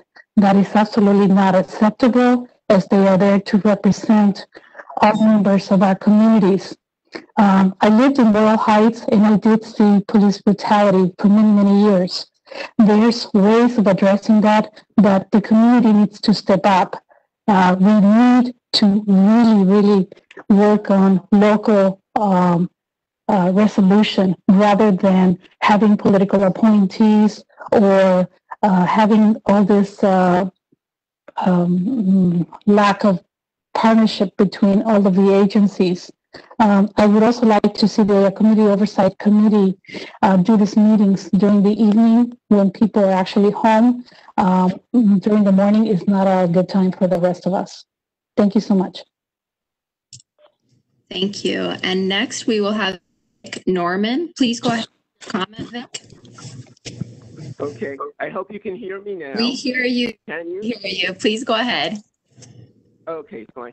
Yeah, listen, I'm having, I've had audio problems uh, this morning on, uh, with the, with WebEx. So, um, my, my question, I think, uh, first of all, thank you for letting me speak and, um, and, and thank you for your service. I'm sure you all seem to be very well-meaning, bright people. Um, this was the first meeting I ever uh, listened to or attended of your commission. So um, yesterday, after I registered, I took a look at the documents that were um, attached to to the meeting, and I was I found I I found myself being quite disturbed. Um, the letter in question was the one that I believe uh, Commissioner uh, no um, the uh, OIG uh, Huntsman sent to uh, Sheriff Villanueva uh, last uh, May, I believe, in 2019, uh, about his lack of his lack of attendance uh, at these meetings. And um, I thought that was odd because this is supposed to be a sheriff's oversight commission. Uh, I'm from New York, and uh, we have a very, very powerful civilian oversight commission of the NYPD. And um, I know this from experience because I have some experience with NYPD as a civilian observer for, for many years and also uh, having interned at uh, One Police Plaza during my uh, attending law school.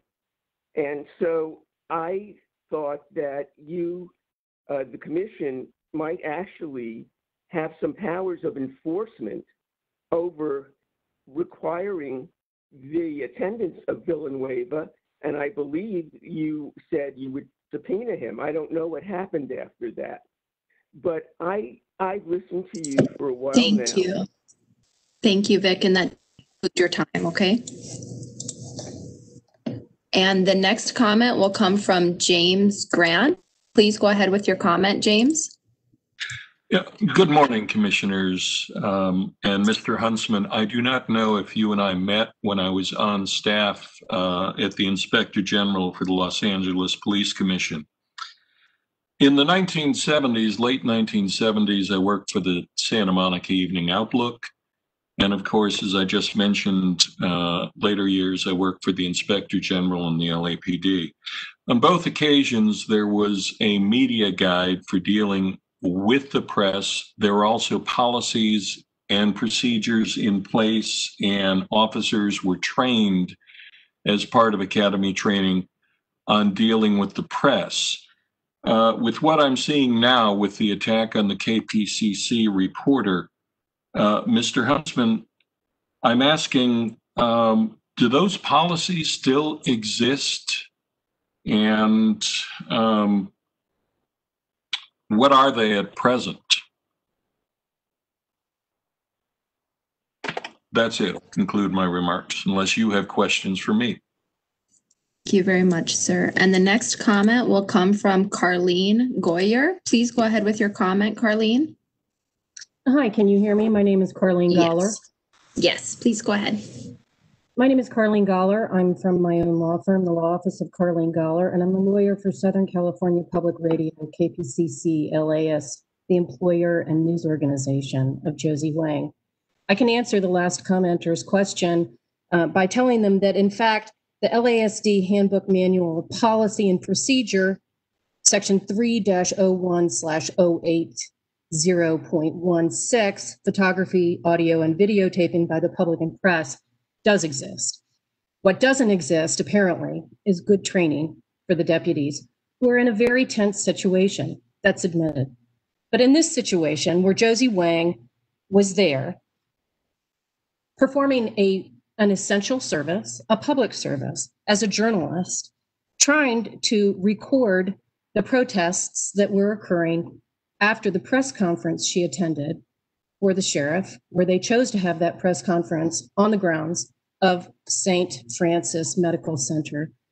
Um, she was brutally arrested for doing exactly what this manual section says that she should be able to do. And if they have problems with it, they need to call a supervisor. That's what their policy manual says.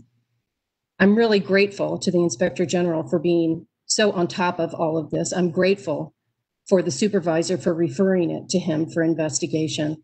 I'm grateful that the Inspector General is putting this together with all the other assaults on the journalists, trying to inform the public about these protests um, as to how they, the public is being served by a very important law enforcement agency, by deputies that carry guns. What happened to Ms. Huang is uh, an example of how journalists are being treated uh, day by day this summer because these protests have been going on day by day. And in any case, I'm sure my, that my time is up here. I just want to say that I appreciate the fact that we are in an investigatory stage. I appreciate the fact that the Inspector General is looking into it. I appreciate uh, that Chairwoman uh, Rubin has referred this to county counsel. I am concerned that county counsel represents the sheriff's department too. Thank you. And the last public comment will come from Audrey George. Please go ahead with your comment, Audrey. Um, yes, um, this is not the first time I have brought up the Jackie Lacey protests. I've been going for the close to three years, almost every single week, um, that they've been protesting. I I feel sometimes like you don't understand the what we're describing as sheriff harassment. You know, in a in a protest where we started out being able to protest, um, you know, maybe um, 20 yards away from the you know, from the front door of the Hall of Injustice um, on the courtyard, and now having been over years pushed out to the street, not even the stairs, but the street, and um, and to see the the sheriffs blocking off two two blocks either direction, and and so heavily armed and with all of their their vehicles ready to take prisoners and their riot gear. And I think the only way that you can understand what we go through the and what how this traumatizes the families that come every week to speak of their pain um, is to go you know I, I don't think i've ever seen any of you commissioners at one of these protests you need to go and see for yourself the militarization of this response to legal protest. And there's never once been violence there. There's never once been a violent incident, not one protester. Um, in this Black Lives Matter led event every week has committed violence against law enforcement or any other person. You need to come. I challenge you to come and see for yourself and then tell me that you don't care. Thank you. And we do have one Last pub, public comment coming from Publius. Publius, please go ahead with your comment. Okay, thank you. I strongly recommend the immediate, can you hear me? Yes, we hear you. Please go ahead. I Strongly recommend the immediate removal of Sheriff Alex Villanueva as a danger to the community. I believe it's your responsibility to take care of this. You're the oversight. You need to do more. You're not doing enough. By Sheriff Villanueva approving the illegal arrest of a journalist and can, his continued support of known sheriff's gang members working as criminals under the color of authority. Mr. Villanueva passes, excuse me, Mr. Villanueva poses a grave threat to the safety and well-being of citizens throughout Los Angeles County. We demand the, remo- the removal of Alex Villanueva and an investigation of the by the FBI of the arrest and persecution of journalist Jose Huang from the award winning public radio station KPCC and the ongoing FBI investigation of corruption by Deputy Alex Villanueva and the corruption of known deputy gangs in LA County as being investigated by the FBI currently. I also believe if this oversight committee doesn't remove Alex Villanueva as a sheriff by next month's meeting, the FBI should investigate possible corruption within this civilian oversight group. Also, I do believe what someone else asked, uh, requested that these meetings should be in the evenings or at least alternate from a daytime meeting once a month to being on a weekend another time or alternating to, to the evening so working people can attend as well. And why isn't the sheriff here?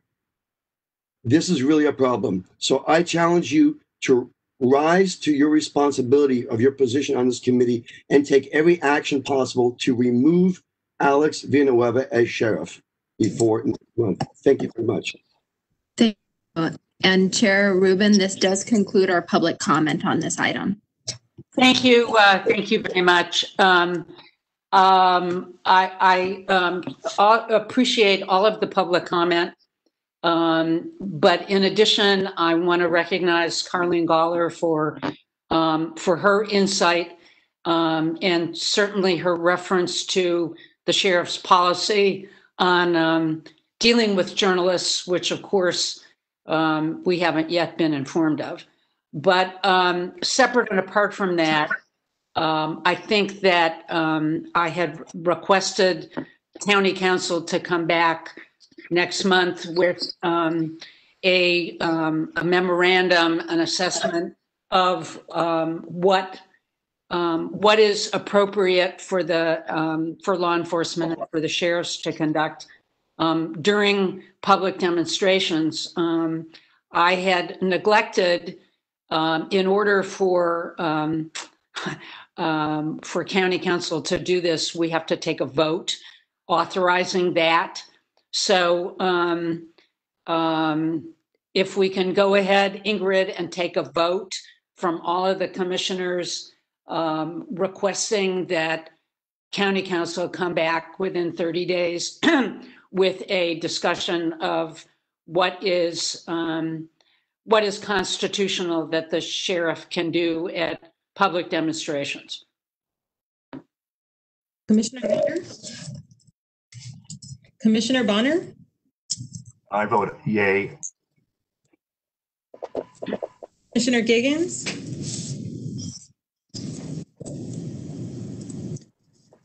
Commissioner Harris? Oh, Did you hear me? Did did you hear my yes? I'm sorry, uh, Jennifer.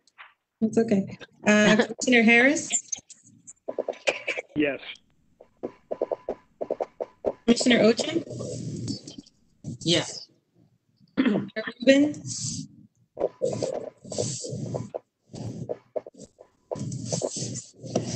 Commissioner Thompson? Yes. Commissioner Tolentino? And uh, Vice Chair Vera? Yes.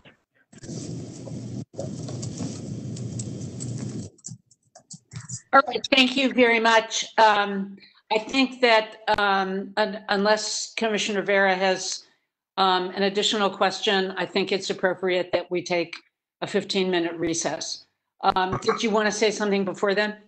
Madam Chair, very quickly, uh, it's pertinent to the, the topic we just uh, voted on.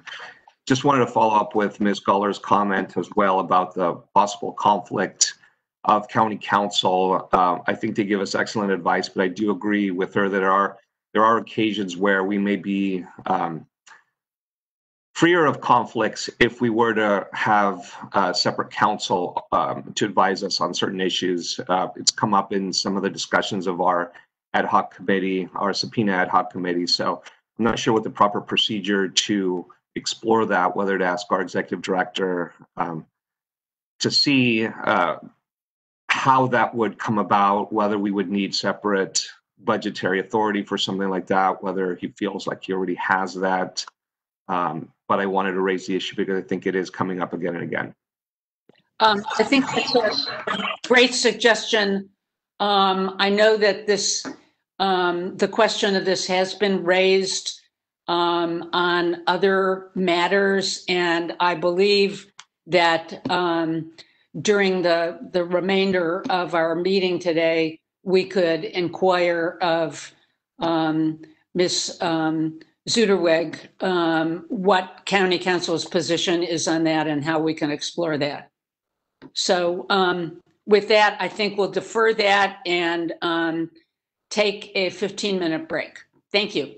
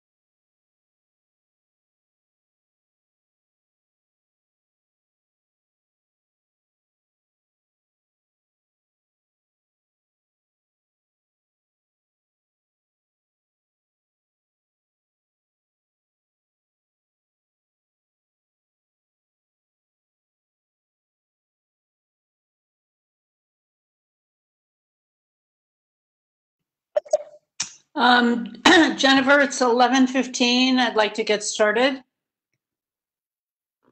Great. Awesome. The commissioners could turn on your camera so we could just make sure that you're available. Right. And Jennifer, this is Commissioner Harris. I am here. Oh, awesome. Thank you, Commissioner Harris. Great. And do we have um, Commissioner Tolentino? We see you now. Yes, looking good. Yes. That's great. And Commissioner Bonner and Ocen, if you are in front of your computers, can you turn your camera on for? I'm here. Awesome, thank you. Okay, it looks like we're just waiting for Commissioner Bonner, um, but you can go ahead and take the floor, Lael. Thank you. Um, thanks, everybody, for coming back on time. Um, we, um, there is a resolution, resolution um, in support of an independent investigation of deaths that occur as a result of use of force by the Sheriff's Department. That is Agenda Item 2C. Um, rather than um, discussing the resolution um, that is attached to the agenda, I think our newly created ad hoc committee um, should take a look at this issue um, and um, report back to us um, soon. Um, certainly by the next meeting. This was one of the issues that was raised uh, across the board at our town hall meeting on September the 3rd that um, it was, you know, how can the sheriff investigate himself? Um, there have been eight officer involved deaths um, or o- officer involved shootings resulting in a death since um, since May. And uh, the question is, um, should they be investigated by an outside agency?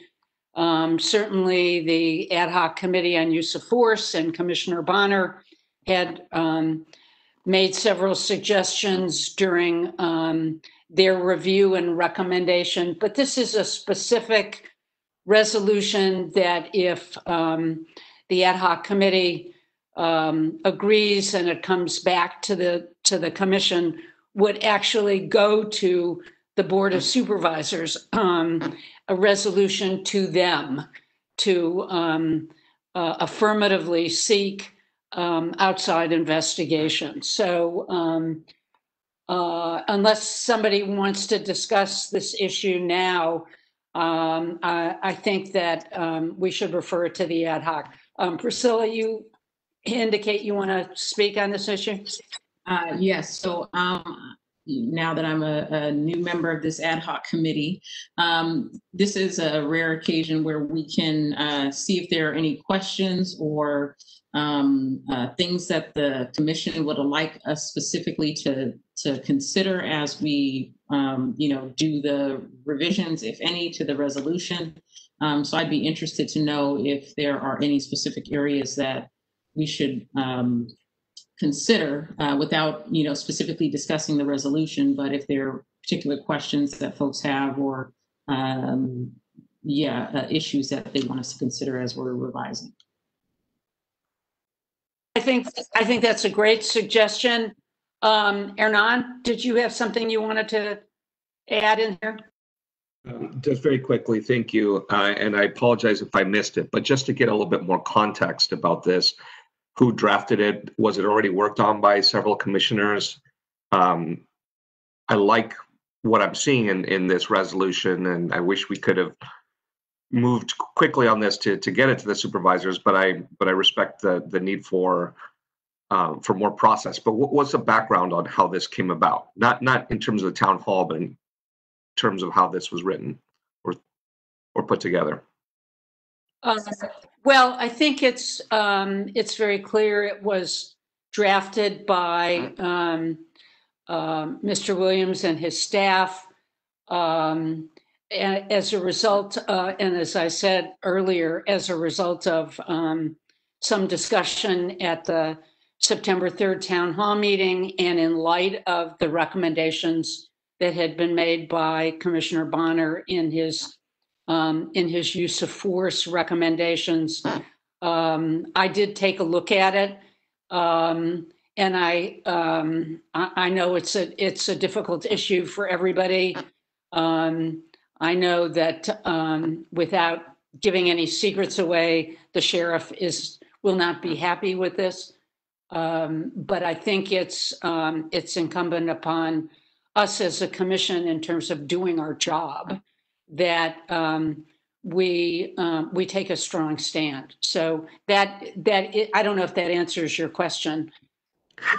Can I suggest if, if there's general agreement on it, since it reflects recommendations that we have already approved, that, that perhaps we can prove it today? I mean, if there's one or two very strong objections that want to wordsmith it, then I don't suggest that we do that now, but perhaps there's already consensus on this, Madam Chair. I, I don't see, I, I- think that's, that's a great suggestion. I just also wanted to obviate the need to spend a great length of time doing the wordsmithing, but we can talk about it in general terms. And I think that's a, that's a great suggestion. Yeah, I'm, I'm ready to move it unless someone strongly wants to take this back to a committee for further wordsmithing. I'm ready to, to, uh, to move this, uh, move its approval. If I could be heard, Madam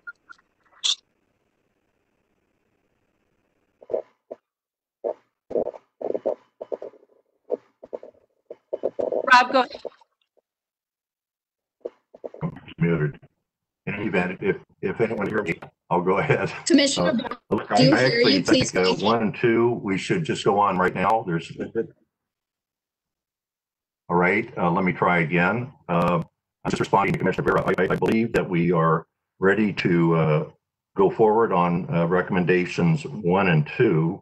Uh, on the third recommendation, I'd like to defer on that because it's limited to qualified immunity. And the, uh, the, the Bill of Rights, uh, uh, Police Officers Bill of Rights needs to be amended in a number of ways. I think maybe the Use of Force Committee should look at number three. And I say that because, uh, the real issue with, uh, POBAR is, uh, and related statutes is how can it be easier to hold deputies accountable through the discipline process uh, than it currently is. Qualified immunity only applies, as you know, to civil rights actions under 1983 and in federal court. And it's not that uh, we've recommended that we do away with qualified immunity, but that's a very, very small thing. So on the third issue, I'd like to refer that to the uh, use of force ad hoc committee. And on the first two issues, uh, at least I would be prepared to uh, um, uh, vote on those today, and I support them. Okay, that's, that's great. Um, it- unless there's, um, input from, from anybody else, um, I would Yeah, this is, certainly, uh, this this is Commissioner Harris. yes. I would like to uh, agree with uh, Commissioner Bonner on that one. I think we could act on one and two today. One thing that concerns me about this resolution, as in all resolutions, and I know this is how things are done in the political world, but it's putting a lot of disparate type topics into one resolution. So you sometimes may feel strongly one way or another on one item and all, and on and on another item be totally opposed to it, but yet you're put into a position where it's a vote up or down on the entire package. I would hope we would do resolutions on a single topic because again, the three things that are in this resolution, having the, the family assistance plan in this resolution, I don't see where that has a lot to do with the uh, investigation of uses of force. Um, and also the issue of particularly uh, Peace Officer Bill of Rights and qualified immunity. I mean, those things are not, they're not the same thing. So uh, I am fine with one and two, although I have to say I, I'm, I am very disappointed in the first one, not from our commission's point of view, but I think it started out as a much stronger piece of uh, legislation than what it ended up as. And uh, it just might be a good first start, but it certainly is not where we need to be by a long shot. Um, but I agree with, with uh, Commissioner Bonner. You know, I think we should uh, take three off, and that needs some further work. And then we could, again, uh, attempt another resolution uh, later uh, once the um, Use of Force Committee has a look at it. Uh, That's into my comments. Patti? Patti? Yeah, um, yeah, thank you. I, um, I'm concerned about way two is worded, that it's LASD coordinates for regular meetings of the FAP Collaborative. Uh, and it's very confusing about who was really in charge of that because it was the, uh, I know that the IG was involved. Um, all the def, you know, all the departments are involved. So I'm, I'm concerned about the direction if, and, and also again, um, how does this, it's connected, but it's not as connected in terms of calling for investigations. So I am concerned about the mixing of um, resolution metaphors, so to speak, as as expressed by uh, um, Commissioner Harris.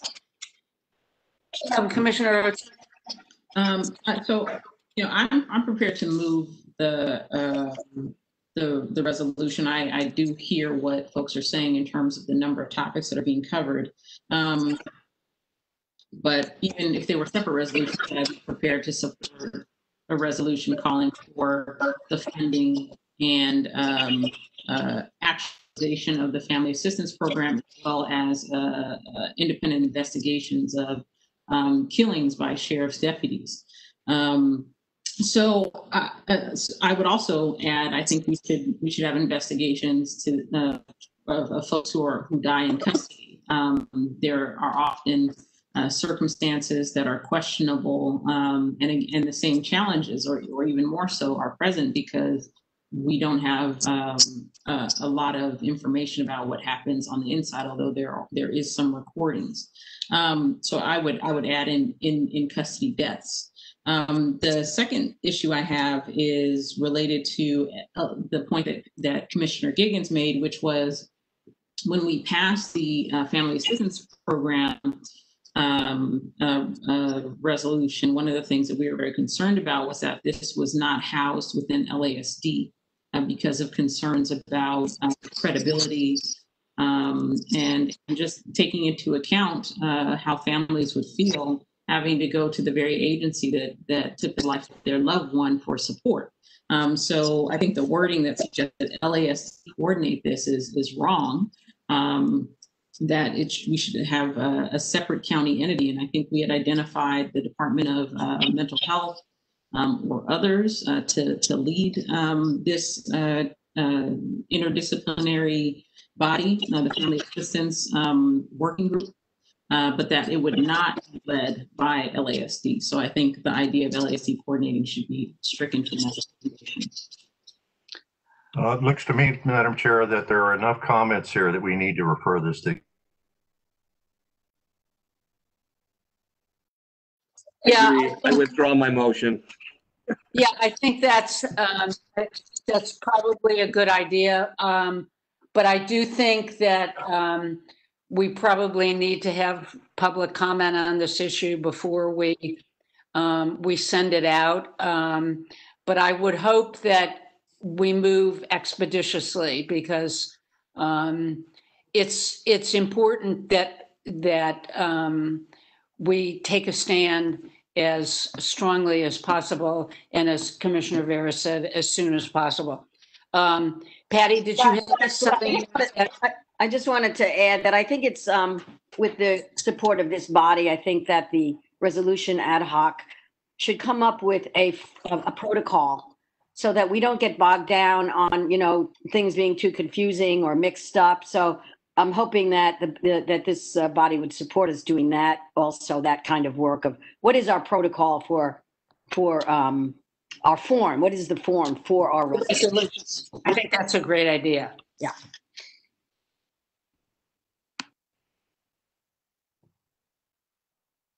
You're muted, Lael.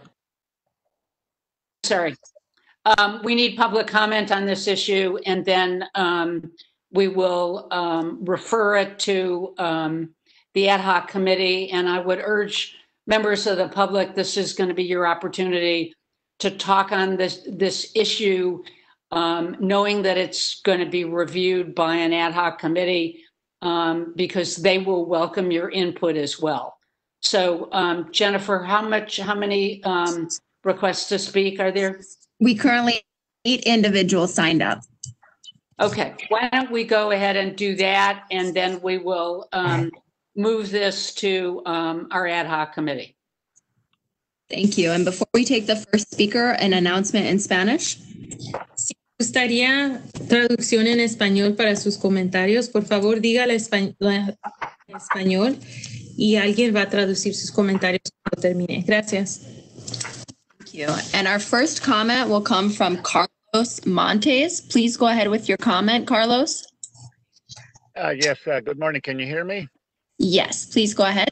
Oh, okay. Yeah, my name is Carlos Montes. I graduated from uh, Garfield High School. I lived for many years in East LA. Uh, I- what they call it, Chicano activist for justice. Uh, I moved out of East LA, Boyle Heights, because I got tired of uh, harassing and the occupying force of the East LA sheriffs. I've been uh, growing up in East LA. I was harassed. I was beaten. I was arrested many times. I've been in the East LA uh, Sheriff's Jail. I've been in the county jail, beat up in there. Uh, and I'm still uh, looking for justice. So I'm- I totally agree with your, your motion or your resolution. I read it last night and I believe it says you want to uh, have the AG, Attorney General, State of California, investigate the sheriffs. I totally agree with that because I'm totally disappointed with Jackie Lacey. She needs to be voted out uh, because she has done nothing to investigate the killings by the sheriffs and the brutality that has been going on for 40, 50, 60 years. I remember in 1967 protesting at the East LA Sheriff Station on the killing of a young man.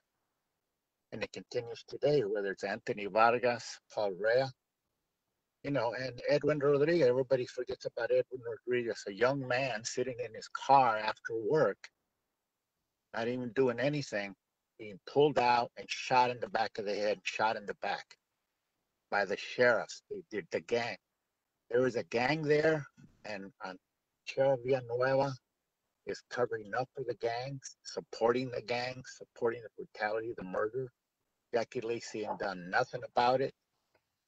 And you all don't have a lot of power to do it. You know, I'm glad that you're you're uh, voicing your concerns, you're having public comment, etc. But we need the attorney general to investigate the sheriffs. And in my view, they need to be prosecuted, fired, thrown out. They are the ones that should be in jail, not our people. Uh, you know, when Kamala Harris was the AG, we wrote letters to her, we called her, and she did investigate some departments in California. Thank you. And that does conclude your time. Uh, the next speaker will be Michelle Infante. Please go ahead with your comment, Michelle. Oh, shoot, I was going to yield my time. Um, all right. Um, with regards to use of force, it's scary to think that the detectives are allowed to, um, in, uh, it, it's scary that they're allowed to have hours and hours to manipulate crime scenes. Um, I think that if you if you ever had the opportunity to read depositions of some of these settlements, you will find stories in there where officers start talking about and and and patho- pathologists start talking about how deputies can wrap a blanket around someone and beat someone up and then and injure them internally. And then the sheriff's department is allowed to say or set up someone as a suicide. And then the county coroner goes in and only does an external um, exam without doing an internal exam. Um, with the sheriff's department, here's what I would say. Alex Villanueva, you need to step up to the plate and show up to all of the Civilian Oversight Commission meetings. I'm not asking you uh, to do anything monetarily. I'm asking you to do it ethically with some morals and accountability and transparency that's something that you can give the community and the commission for free because your uniform is not only looking green and tan from the front side, but your backside is starting to look yellow when you don't show up.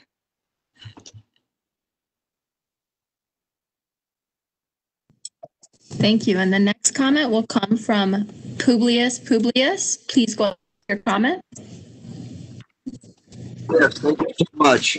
I agree with what Mr. Huntsman said previously about the rule of law.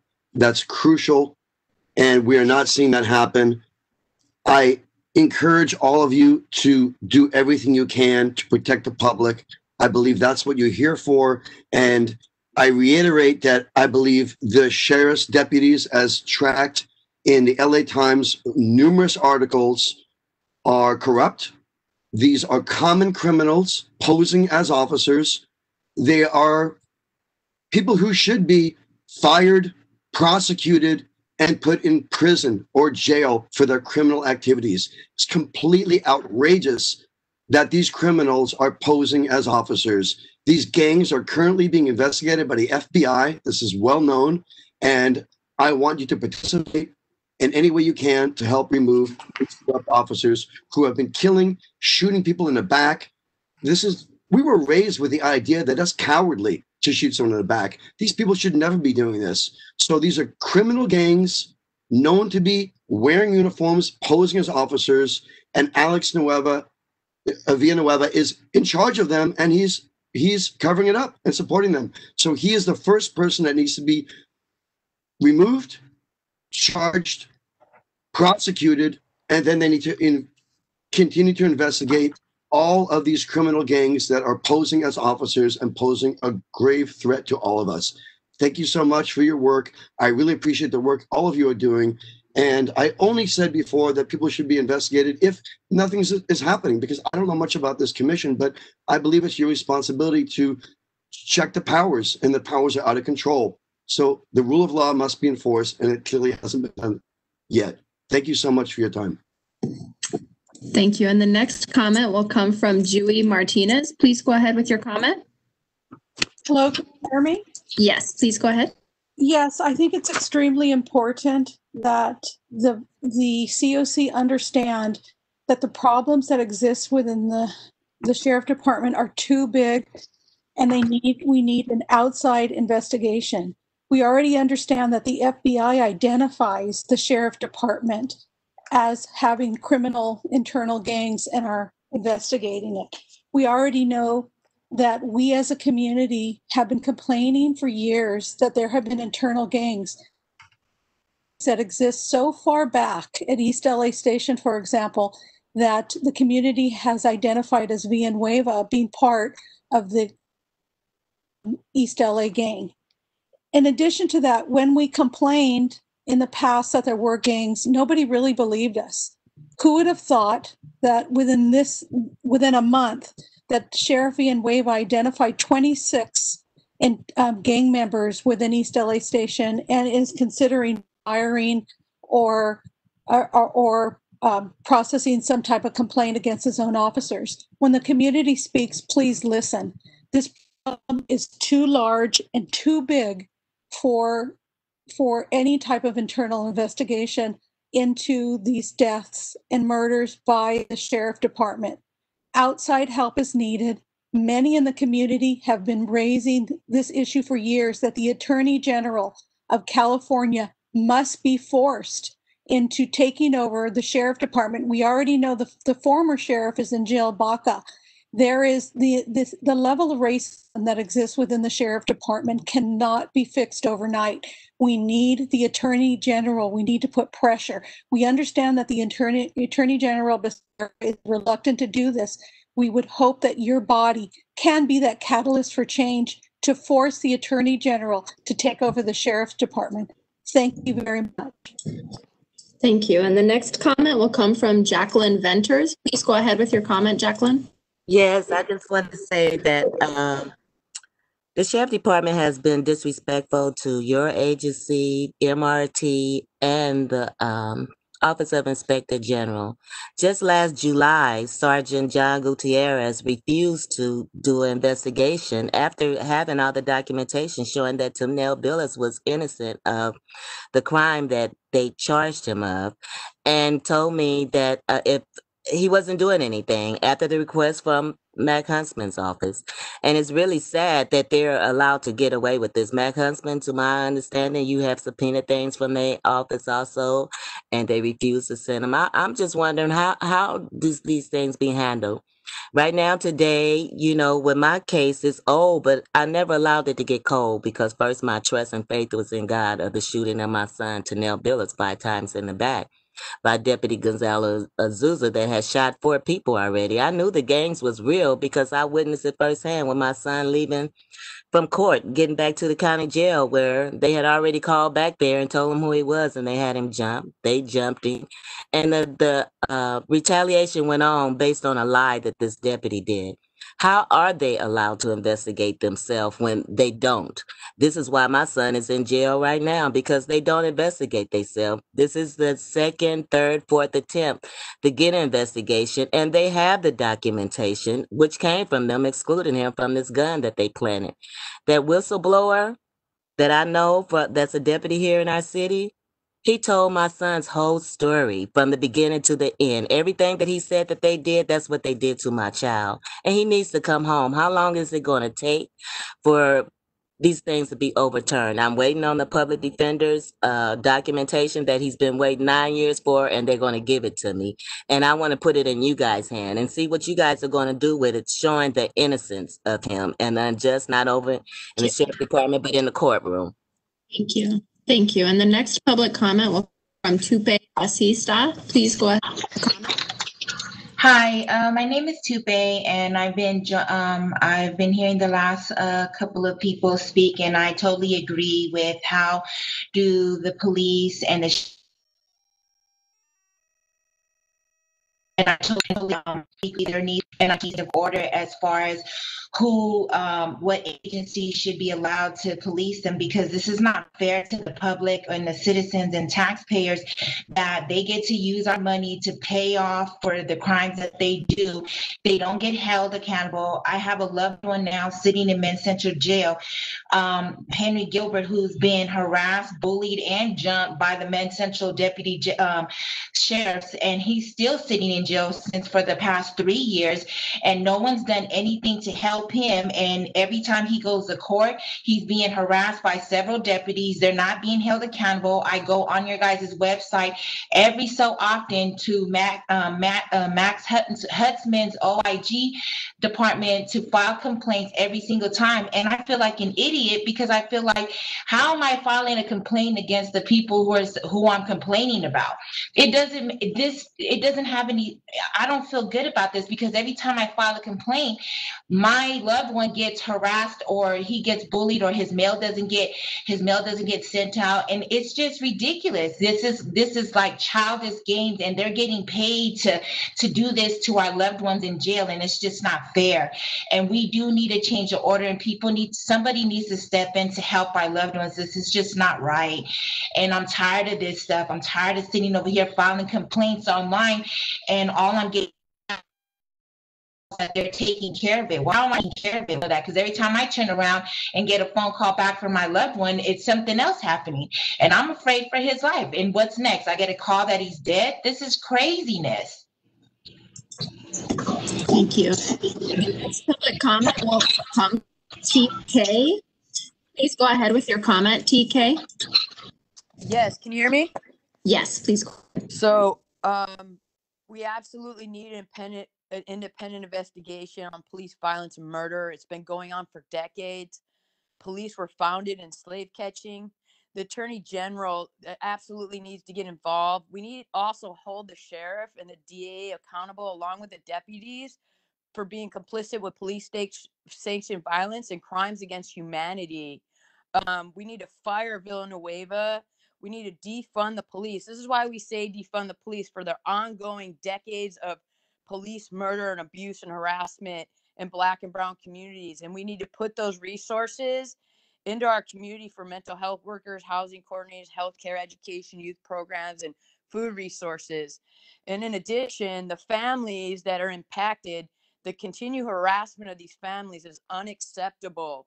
And they're waiting literally months, days, and years for autopsy reports, videos, uh, all any report relating to the case. And so I don't understand how two deputies can be impacted and that video comes out the same day, but you got family members that are their loved one's been murdered and they're not they don't even have access. And in fact, the thing about covering up uh, how Dijon Kizzee's body laid in the street for 18 hours was them covering up the police murder. They were uh, that crime scene was his body laid in the street for 18 hours so they could cover up their dirty work, how they murdered Dijon. And this goes on with almost every case. So they tried to, Andres Guardado, same thing. The videos weren't released. They probably edited them, they hid them, the families weren't able to receive them. The ongoing police gang involvement needs to be un, uncovered and they just need to be defunded and shut down. Thank you for that comment. And Chair Rubin, this does conclude our public comments on this item. Okay, thank you. Um, I, I think that, um, what we certainly heard is that there is a lot of, um, public support for, um, the, the basic idea behind the resolution, um, which is to, um, uh, request that the, um, the Attorney General come in on this investigation, um, and that it is something that the Board of Supervisors should have a hand in. So with that, um, I refer this to the ad hoc committee um, to uh, um, fine tune um, the resolution and and also as um, Patti Giggans suggested, really to come up with a protocol about um, how resolutions are um, what they should be um, comprised of and um, and how to operate from there. I think it was a good suggestion. Yes, Priscilla. Um, so I just had a, a question for for you and for the commission about um, a practice that we had started some time ago, and then I think you know just uh, urgency of issues kind of uh, um, got in the way. But we had initially discussed when we had reports having uh, an informational item and voting on it. Um, and that we haven't been doing that recently. And I think this this discussion, uh, you know, demonstrates why that's a good practice. So we've been able to hear the concerns, make revisions, and then and then bring bring the item back before the commission. Um, Right. So I don't know if we want to. I'm just putting it out there, if it's something that we want to go back to, or um, if we don't think it's necessary. But um, I do think it's good for us to actually be able to discuss things rather than having the sort of uh, you know pressure of uh, having to make a decision one way or the other um, as we're trying to edit a document. Right. Think that's a, a good suggestion and a good way of operating. Um, and frankly, I think the discussion both this morning on um, the resolution on violence um, raised issues about how we ought to proceed. And I think that um, uh, discussions on um, how we go about making a request for an independent investigation, it gives everybody an opportunity, at least in this forum, to uh, express some views. But because of the Brown Act, we can't do it any other way. So it's kind of a um, combines both both methods here. Um, uh, Mr. Williams, did you have anything that you wanted to add to this at this point? Uh, no, we'll make sure that we'll uh, assign a member of our staff, not sure who that's going to be just yet, to this ad hoc committee, we're hoping to have this committee meet uh, rather soon. That's, um, I think that's, that's a great idea. Um, so, um, uh, I think that the, the next item on the agenda is agenda item 2D, discussion and update regarding the sheriff's efforts to address COVID-19 issues in the jail and a draft report which has been attached to the um, to the agenda. Um, as as you know from all of the times that um, the subject of COVID 19 in the jail has been um, on our agenda um, and the input that we've had, um, it is still not complete.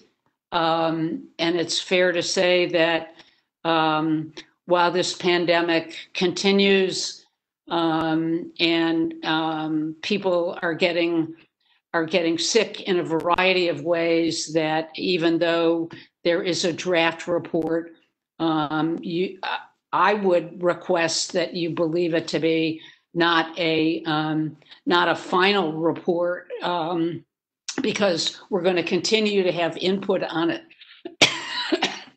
um, with that said, um, I don't I don't know if members of the commission have any comments on um, the draft report, the 11 pages plus um, exhibits and attachments that have been um, that have been included on the agenda. Um, uh, whether you want to have input at this point in time, um, I will say that one of the things that we all felt very strongly about is that, um, and especially in light of the fact that we recently learned the population in the jail is on the upswing again.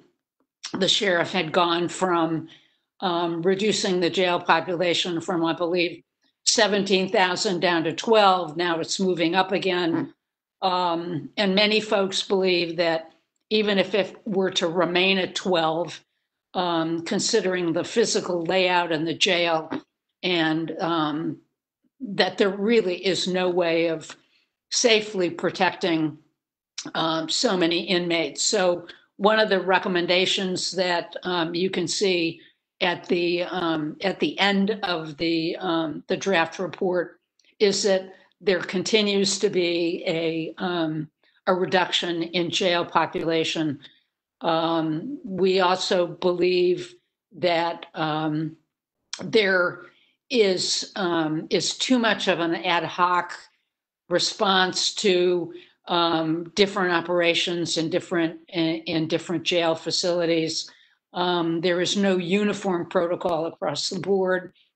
Um, we've learned of some significant concern of how um, um, correctional health and the sheriff are really working together or not.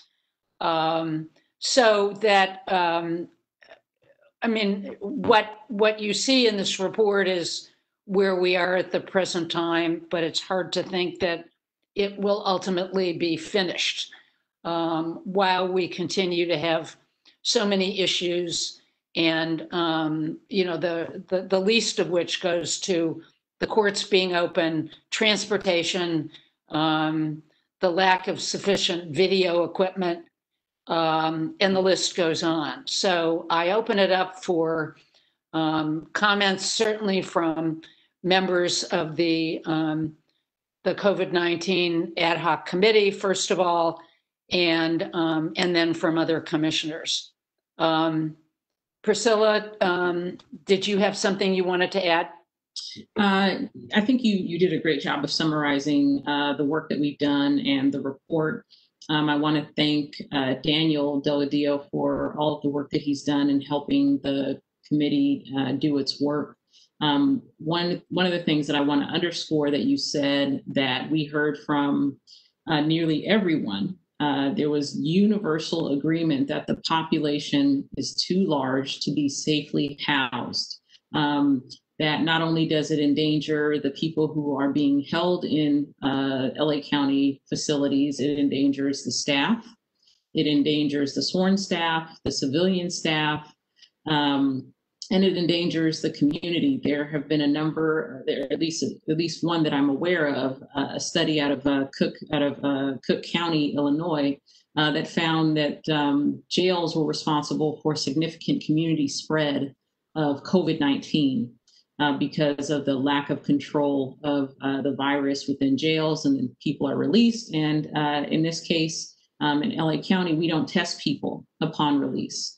Uh, so folks could be positive when they go home um, and spread that to their friends and family um, and their broader community. And so, uh, in order to mitigate that, uh, the, the bottom line is we have to reduce the population. Of course, we've, we, there's already been a population reduction of uh, about 30% since um, uh, February or March of this year, but that's uh, just the beginning of the work. Um, and so we're, as uh, the report notes, calling on county justice partners, the district attorney's office, the Office of uh, Diversion and Reentry, uh, the sheriff's department, um, and the courts to move more aggressively to identify people who are eligible for to be eligible for release.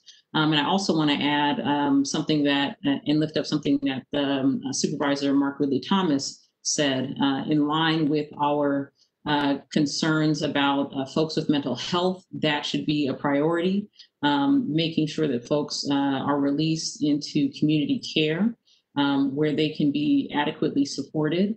Um, and we also want to be mindful of the county's commitment to anti-racism and ensuring that uh, whatever releases occur, um, and they need to occur, are done in equitable fashion. Um, so I want to thank, uh, again, uh, uh, our staff for their assistance. And um, I want to also thank you, Commissioner uh, and Chair Rubin, uh, who not only chairs this commission now, but also is chairing the COVID-19 uh, committee um, and has really been uh, you've really been wonderful about um, making sure that we meet frequently, that we hear from folks who have direct knowledge of what's going on, um, and that we uh, lift up uh, what's happening inside of the jails. Because um, at this point, there are no visitors, uh, there's no programming, um, and so the folks who are most directly impacted um, have the uh, least access to information and the least ability to share what's happening. Um, thank, thank you, and I'm so glad you mentioned um, all of the work that Daniel Delgadillo did. I mean, he's has been the, the life force behind this ad hoc committee with his um, his hard work and dedication, and um, we wouldn't have gotten to this point without um, his tremendous support and help. And um, I, I think that one of the things that that you mentioned in terms of um, um, Commissioner Ocen about um, people in jail not having visitors, the attorneys can't go. So there is no way for them to um, speak with their attorney um, unless they go to court, which presents other issues, or um, unless there is developed some confidential way of communicating with their attorney, um, either by telephone or, or video. Um, and so, you know, you go back and you ask, um, we need to reduce the jail population. Um, Sean Kennedy, who is um, uh, uh, an important member of this ad hoc committee, was unavoidably um, not here today. Um, Commissioner Harris, I don't know if you wanted to add anything at this point.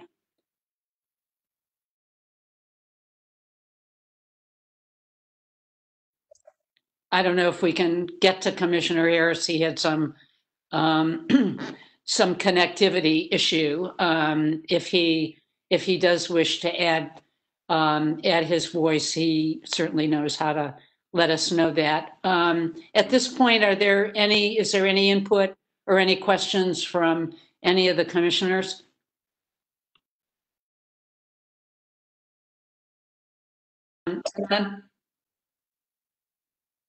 Oh, sorry. Uh, I do have one other thing. Um, and, and uh, Commissioner uh, Chair Rubin, I think you know we had discussed this. Um, the as the report currently reads, uh, starting on page, uh, sorry, starting on page, um, I think it's two.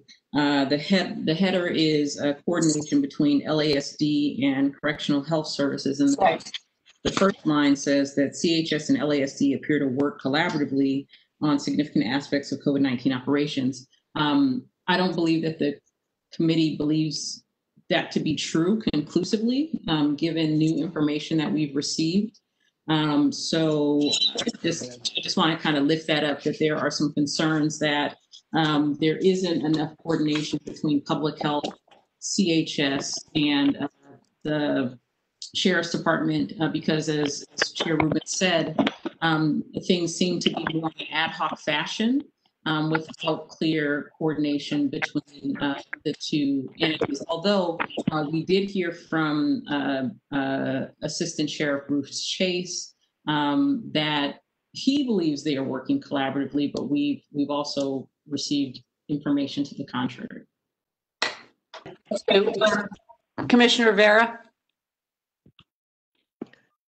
Thank you, Madam Chair, uh, and thank you to the commissioners that worked on this. I think, I think it's a great report, and I just want to register my frustration with us not being able to prove it today. It has strong recommendations. The recommendation to decrease the population is important. It's needed now. It needs to get to the supervisors now. Same thing happened with our immigration report where we took over two years. I mean, we are making the perfect the enemy of the good. I was ready to vote on this. I don't know what else we need on it. So I, I, I appreciate that if we can make any report better, of course, but we need to move on this. The, I hear from the community every week on this issue, and I think we should should have been in a position to to prove this today. Thank you for that. Um, um, I happen to agree with that, so thank you for that. Um, Patti?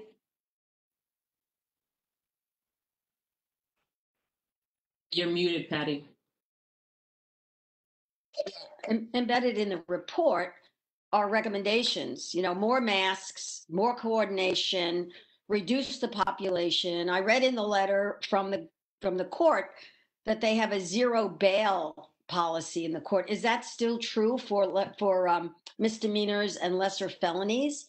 Um, if that is, is that still true? If that is still true, I'm, I am curious on where the um, increase is coming from uh, when we're supposed to be focusing on a downward spiral.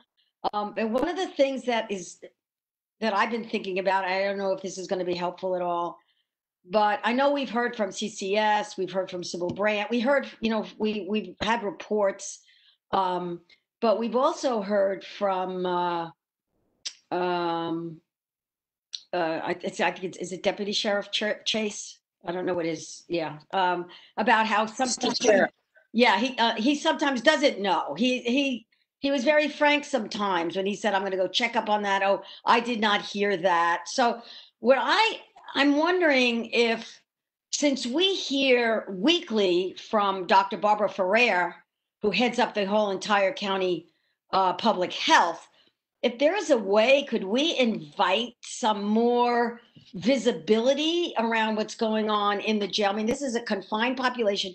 We hear about nursing homes all the time. We get, you know, up to date, how many deaths, what's going on, et cetera, um, and where the challenges are. Is there any way that we might, as a commission, reach out to the head, the director of the Department of Public Health, and ask if there is a way for them to include this issue, uh, which is so vital, um, in their in their weekly reports, in their biweekly reports, so that the entire county, who's concerned, we are all concerned with COVID and being safe, can hear about where we are. I still feel it's under it's under it's like a shell game you know to find out what's going on and where the improvements are and i'm not even saying that it's malintentioned i just don't think we have enough light focused and um, community focus um, on the topic so that it needs more illumination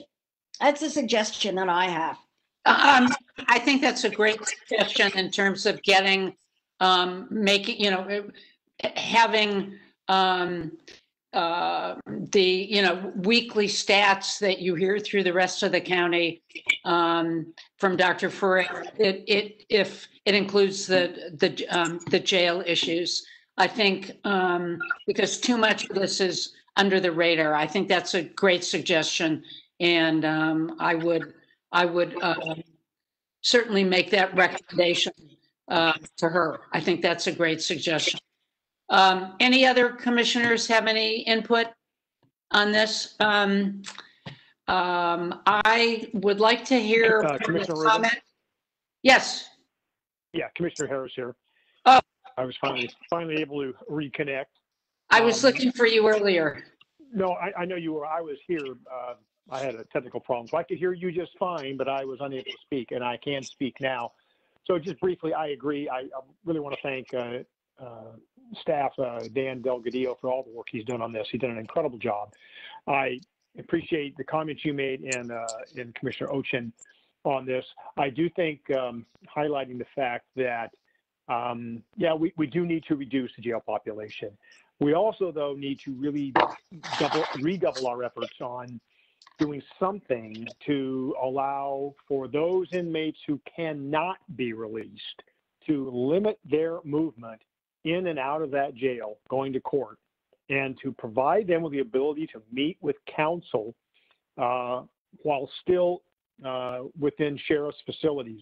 Um, we have been wrestling with this for a long time, and we really need to continue to uh, emphasize the importance of having a uh, virtual um, platform by which uh, those who are in custody can, in fact, have confidential communication with their counsel. This idea that they would be able to pick up any phone in the jail and talk with their counsel, that does not afford confidential communication. That is, that is not going to work. I think there are solutions to this, but people have got to work. Our justice partners have got to work together on this problem. But again, recognizing reducing the jail population to the lowest possible level we can. That is goal one. But then for those that remain, we've got to limit that um, uh, movement in and out of custody because that is just a gigantic uh, spreading mechanism. Um, so the more that that can be uh, emphasized, uh, the better. And I agree with um, uh, Commissioner Ocen. I think we do need to also look at this issue of testing people as they're, uh, as they're released. Now, obviously, to do that effectively would mean a couple of days before their release date that they would be tested. So when they walk out the door, they have the results as opposed to releasing them. Even if you test them the day they're released, they still wouldn't have it for a couple of days. That really doesn't do uh, a whole lot of good. Um, but I appreciate the effort that's gone into this report. I think, yeah, there's still a lot of work needs to happen. I think having uh, Department of um, Health um, giving periodic updates because you're right, too much of this seems to be under the radar. Uh, knowing what the infection rate is um, is really important, not just for us in the community, but for those people working in the facilities. They want to know, you know, what is going on. Uh, is this an infection rate going down, or is it going up, or is it staying the same? And we're hearing that they don't know that uh, in any real-time manner, and that has got to be rectified. So I'll, I'll end my comments there.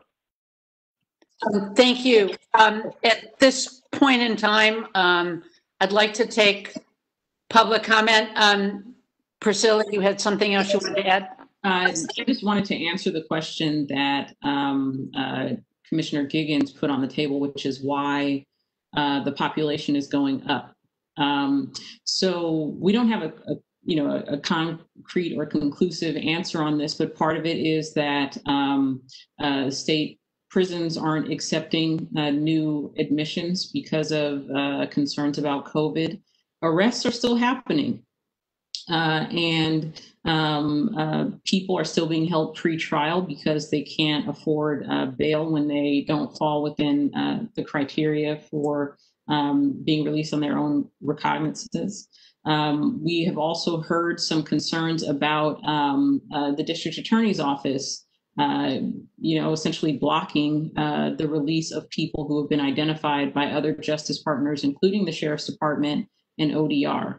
Um, so I think those three things, the fact that we still continue to make um, uh, obviously arrests. Um, uh, many people uh, are being um, uh, hit with bail um, because the district attorney is requesting it uh, and they can't um, get out. Uh, and then the last bit is that people who are in custody who've been recommended for early release uh, are having difficulty being released. And I think uh, um, uh, Mr. Huntsman wanted to add uh, or, or respond to some of the comments that have been made. Yeah, um, and before I, I did see that, thank you. Um, before we we get to um, hear from um, the inspector general. Um, uh, I think that um, from everything that I've learned, um, the um, the fact that the state prison system um, is is not accepting new new inmates and they're filtering down to the county level seems to be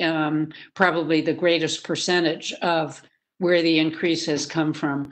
Um, did you want to um, uh, add something at this point? Yes, uh, the report states, and it's been discussed by a couple of commissioners, that uh, the population is starting to go back up again, and we have a 30% reduction from the, the high we were at. That's not correct. Um, we it's gone up already. We're up to 13,900 now. The 12,000 figure is ancient history, um, and and the reason it's gone up is because, as you heard from Bruce Chase, there's identified something like a thousand or, or or so nonviolent criminals and the sheriff has declined to come and discuss this the matter you subpoenaed with him he has stated publicly there are only violent prisoners left in the jail. So so the releasing process that was initially pulling a lot of people out of jail who were nonviolent has essentially stalled and and as a result now the, through arrests we're arresting more people and bringing people in so i just want to make sure that 12,000 figure that's in the report that's not accurate it's 13,900 today Yeah, I think that, that, you know, the, the 12,000 in the report um, referred to a certain date that it was, that it was 12,000. Um, But um, it is. This, uh, this points to an urgency, it seems to me. If we're up to, almost- that's 2,000, that's 2,000 more in a couple of months. Um, What do we do about that? Where do we, where do we exert our influence so that this doesn't go back up to 17,000, which was uh, untenable? Um, one of the things we really need to do is, um, and again, this is a reason for at least this interim report to go to the board. Um, have the board step in and say, um, various county agencies, you've got to get your act together to reduce, um, the, the level of the jail population. I think that this is something that, um, uh, Supervisor Ridley Thomas spoke to um, this morning and also feels strongly about. So at this point, I'd like to um, see how many, uh, how much public comment there is so that we can figure out the rest of the time because we still have some other items um, before we can adjourn. Jennifer, how many uh, people have signed up for public comment on this? Four individuals. All right, why don't we go ahead and take that? And then um, when that is concluded, um, I am going to urge um, the rest of the commission members that we move this forward. But at least let's hear from, um, you know, those members of public comment. Okay, and before we go into public comment, an announcement in Spanish. Si necesita una traducción al español de sus comentarios, por favor diga la palabra español y alguien traducirá sus comentarios cuando termine. Gracias. Thank you. And the first comment will come from MW. MW, you are unmuted. Please go ahead with your comment. Okay, so today we've heard, I mean, just a few minutes ago, we've got 13,900 individuals incarcerated. That's 2,000 people above capacity during a pandemic. We've heard that our sheriff is opening fire on peaceful protesters, gunning down people in the streets, um, all, all sorts of laws that he's breaking. And while this meeting is gone on at about 11 a.m. Pacific Standard Time. Your sheriff, Sheriff Villanueva, tweeted his own words in keeping with my promise for transparency. LA Sheriff's Department will be hosting a press conference today at 3 p.m. at the Hall of Justice to release details of the Dijon Kizzee uh, deputy involved shooting. So while he is not following the law and appearing here with you all in accordance to Measure R, while he is not responding to your subpoenas, while you have the offer, Office of Inspector General here giving one illegal fact after another, this sheriff is totally out of control, running a propaganda machine unlike none this country has ever seen going to stand at the Hall of Justice when we had testimony here today of peaceful protesters, citizens where the Hall of Justice was risen for, not being allowed to stand on the steps of the Hall of Justice. This body has to create a plan to get this sheriff under control, get him to follow the law, and allow the law to be the preeminent order of the day, not deputy gangs. Thank you. And the next comment will come from Julie Martinez. Please go ahead with your comment. Yes, I'd like to reiterate, please listen to us. In all due respect, um, Ms. Giggans, you had raised a question as where is the population increase coming from? You please do not speculate yet. Please allow for there to be some um, research done. You need to understand, this entire body needs to un- understand that the sheriff department is an animal that exists to manufacture crime statistics in order to justify their mega budgets. Please understand they are desperate for arrest at this time. Please listen to us in the community. They create a percentage of the crime by their own malfeasance. They present manufactured um, statistics. We in the community have witnessed this. We know that we've already caught them creating fake statistics on fake calls that didn't come in. For a simple code violation, for example, they call out 10 deputies. In this particular instant that I'm referring to, it was a basic code violation of a woman that stood under five feet tall, 10 deputies. They, for a basic code violation of expired tax, they, they proceeded to search her car, found cash, and accused her of drug dealing. The sheriff department is manufacturing statistics and manufacturing arrest. The jails should not be at this capacity. In order for Sheriff Villanueva to justify such a huge budget, he will continue to manufacture crime and arrest people on, on issues that never should be arrested, and including including very simple code violations. Listen, we're in a pandemic. We need to reduce we need to reduce the crime the population of the of the jails to stop the spread of this virus this is extremely important please proceed with what you're doing Thank you. And the next public comment will, will be the last one for this item. This TK. Please go ahead with your comment. Hi. Um, I'd just like to note that Dijon Kizzee was uh, murdered over a bike violation. I didn't even know you can get pulled over on your bike. And I want to say, um, where are these arrests coming from? What makes up, what part of the community makes up these arrests? This, since crime last noted was actually down during COVID, um, I'm feeling that the homeless population is further being criminalized when they were the city of LA was ordered to house these folks and nothing's been done. That population has grown. They're further further criminalized. Um, maybe the arrests are from protesters actually too for seeking justice. Um, so I, I'm I'm really trying to figure out what the statistics are or what community members are being arrested and for what. And these are nonviolent crimes during COVID. And this is why we're saying like defund the police and close the jails. Like you're eating up uh, needed resources and community dollars where it needs to be in our communities. And I'm also concerned for the health care of those that are incarcerated and the pushback on the community members that are incarcerated. Um, we absolutely need to let these folks out that are on nonviolent crimes and get rid of the uh, the bail. There should be no bail right now, especially during COVID. People don't have jobs to bail their family members out as well. They're not working. And if you're in there for nonviolent crime, you're further exposing the people to COVID. And the people there, I'm concerned about their well being. I'm concerned about them getting health care, and we want them out. Right. And so the sheriff also needs to be held accountable. He's trying to run, like the woman said, his propaganda machine and just further uh, get uh, votes during election time. Thank you. And Chair Rubin, that does conclude all public comment for this item.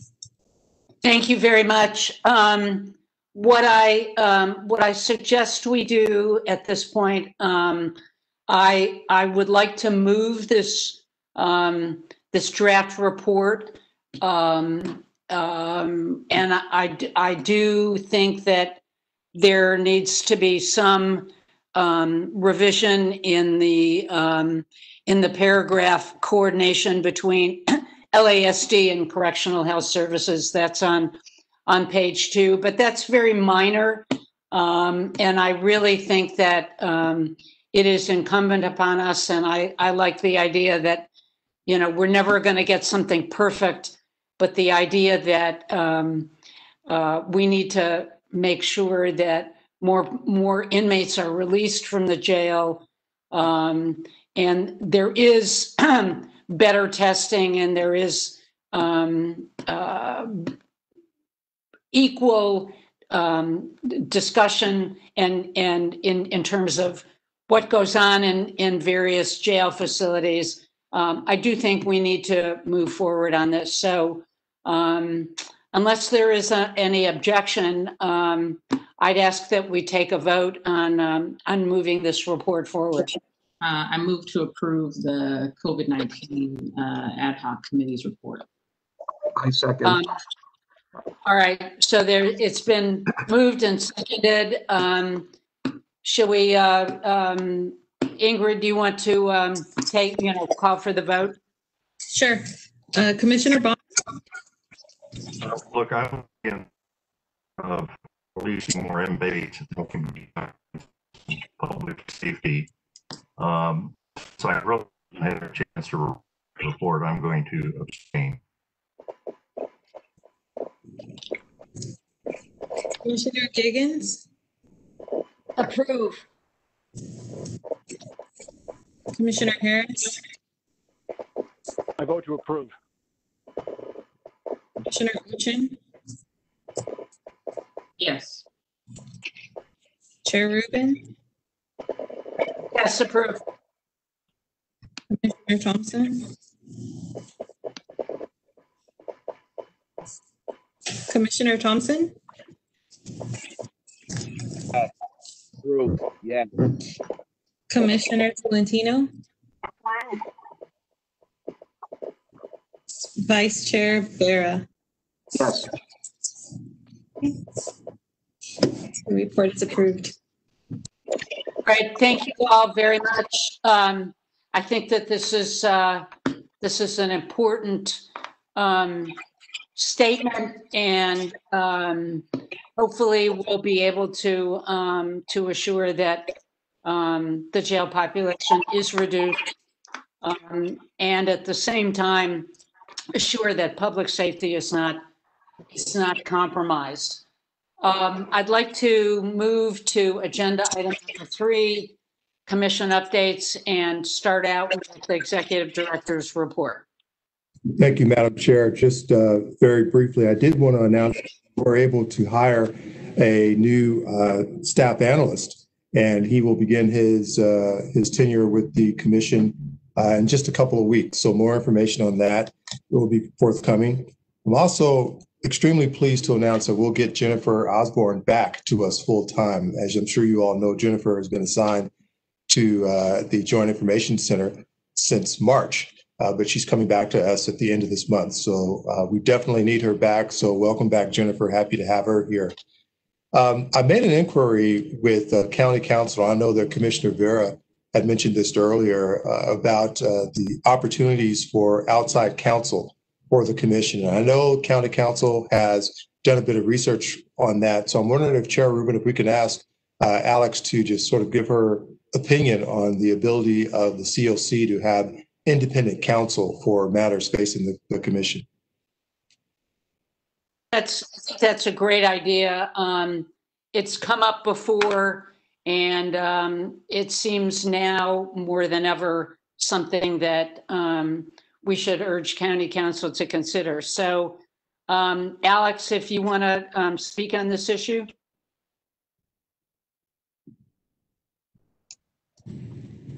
Thank you. As you know, this commission was created by the Board of Supervisors. Under the county's charter, county counsel exclusively advises and represents the Board of Supervisors and its commissions in all civil actions and proceedings. Circumstances that may warrant separate counsel would never be present here. I don't, I don't understand. How, how can you say that? I respectfully disagree. Yeah, me too. Um, I don't think, I, can I just, can I, sorry, Ch- Madam Chair, may I speak? Of course. Um, uh, s- I, I- it's, it's a, that's a curious position for county counsel to take. Um, I would like maybe a written summation, uh, with support for how you reach the conclusion that, uh, there would never be a conflict that would rise to the level, um, of a need for outside counsel. Um, I can think of, uh, at least five off the top of my head, um, where we indeed would need outside counsel.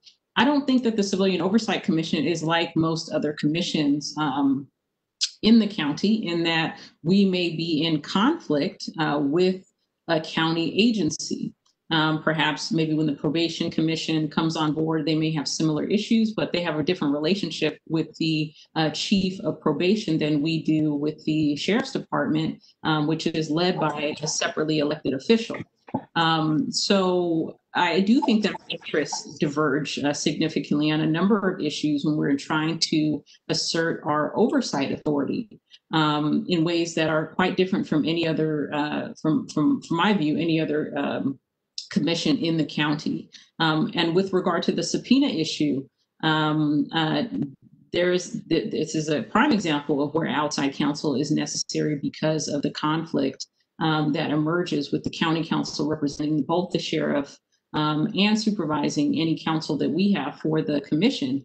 For example, I know that we were told uh, about, for example, settlement discussions with the uh, sheriff's department in relationship to our um, uh, subpoena um, motion, our subpoena and our con- our contempt uh, petition. Um, and it seems to me that that's not in the interest, uh, from my perspective, of the commission, given that we really need to get an authoritative opinion on the legality of our uh, subpoena orders um, or our subpoenas that we issue. So I can go on, but um, uh, yeah, I, I would just say I uh, I join Commissioner Bonner in disagreeing with the idea that there would never um, uh, be a circumstance under which uh, outside counsel uh, would be warranted. Any other commissioner want to speak to this issue? Um, I- I, yes, Commissioner Tolentino? I would agree with Commissioner Ocen and Commissioner Bonner. There has to be some exception. Separate And and is it apart from that, separate and apart from that, I think it is, um, it is essential, um, uh, for county counsel to, to put this in writing. Um, I mean, particularly with a blanket statement of there's never a situation where there's a conflict of interest. Um, I mean, I, I, I just, I, I- I think that that is frankly, um, with all due respect to, uh, Ms. Zwiderweg, that it is a little glib to say that. And, um, um, I, I think that there needs to be, um, some formal, um, memorandum to us, um, that, um, that that is not an issue that county counsel wants to take up as seriously as we believe it should be. And and frankly, uh, sorry, just to, to add on to that, um, I think this is actually an issue where there's a conflict, uh, where county counsel is telling us um, that there's no such no no uh, there's no circumstance set of circumstances under which we could have outside counsel outside of them. So I, I think we should have outside counsel actually opine on this um, instead of county counsel, which has an interest um, in terms of how they represent us. And the county obviously um, would, might have to fork over some money to pay for um, independent counsel for the commission. So I, I think we need to have an independent en- entity uh, assess um, this question um, because here we have a conflict. Yes, Patti? Yeah, um, didn't we hear or I heard, or maybe it was from the IG or somewhere, I think I heard, or attending a Board of Supervisors meeting that actually um, Sheriff Villanueva made a, a, a kind of a complaint that how can you have county counsel represent the county, the board, and represent me in our disputes? And I believe that the sheriff, in terms of our subpoena, has outside counsel. Uh, and it's not county counsel that's representing him. So it's it's it's kind of confusing. I think there's been a lot of different commentary on when it's appropriate to go outside and who would pay for that and when can you ask for it from the county? When can you reject county counsel um, uh, taking on the issues so this I, I agree with everyone that's that's saying we need to have uh, a more thoughtful um, approach to our question. Yeah, I, again, I would renew my request um, for um, um, Zweederweg to, um, to put in writing what county counsel's position is. And um, it may, as um, Commissioner Ocen uh, suggested, necessitate um, having outside counsel advise on this issue. I mean, it's, that's certainly done in, um, in litigation all the time. Um, but at the very least, we need to have something in writing. So, um, Ms. uh, Zweederweg, um, do you need us to vote on that or can we just, um, can I just ask that you, um, uh, prepare something in writing for us? As, as long as the majority of the membership agrees with the request, then, then I'm happy to do so. Um, you- you're welcome to take a formal vote. All all right, I think, um, will we, um, I think we can take a voice vote on this. Um, and, and do it in the negative. Is there anybody who disagrees that, um, um, we don't need any, um, formal memorandum from, um, county counsel on this issue? All right, hearing no disagreement, um, everybody else is unanimous and, I would, would urge you to provide that, um, as soon as you can. And I think then, then we can decide where to go at this point. Before, before, before, Yes. we Yes, I, I agree. Um, that, um, you can, um, you should certainly provide it to, um, the executive director well before our next meeting. And, um, he can, um, disseminate that to the rest of us. Commissioner Ocen, did you want to add something? Yeah, and I just wanted to be clear that um, we would like to have a memorandum uh, outlining county counsel's position um, it- with as much detail as possible um, and with citations to whatever uh, ordinances um, uh, or state laws that you're relying on or any precedent uh, from the California Superior or Supreme Court uh, so that we can analyze the reasoning behind your position that there would never be an occasion uh, where there would be a conflict between uh, the between county counsel representing us and the sheriff's department. All right, Thank you. Um, Mr. Williams, did you have anything else that you wanted to add on your, um, in your, in your executive director re- report? No, not at this time. Thank you. Okay. Um, and, um, Mr. Huntsman, do you have anything in addition from the Inspector General? I do not. Okay, um, anything from any of the, um, ad hoc committees, um, that we haven't heard from who want to have some input? Commissioner Ocen? I just want to update folks on the Measure R uh, uh, ad hoc committee, uh, which is comprised of uh, myself, Commissioner Bonner, Commissioner Kennedy, and Commissioner Harris. Um, we are meeting uh, frequently uh, uh, every other week, and we're hearing from, uh, we're beginning to hear from uh, folks uh, who have um, expertise on the charge that we've been given by Measure R. Uh, and we are also seeking uh, support from the county to uh, be able to produce the kind of um, report that uh, voters in LA County expect from us on this critical issue of justice reinvestment. That's great. Um, Commissioner Bonner. Yes, uh, this is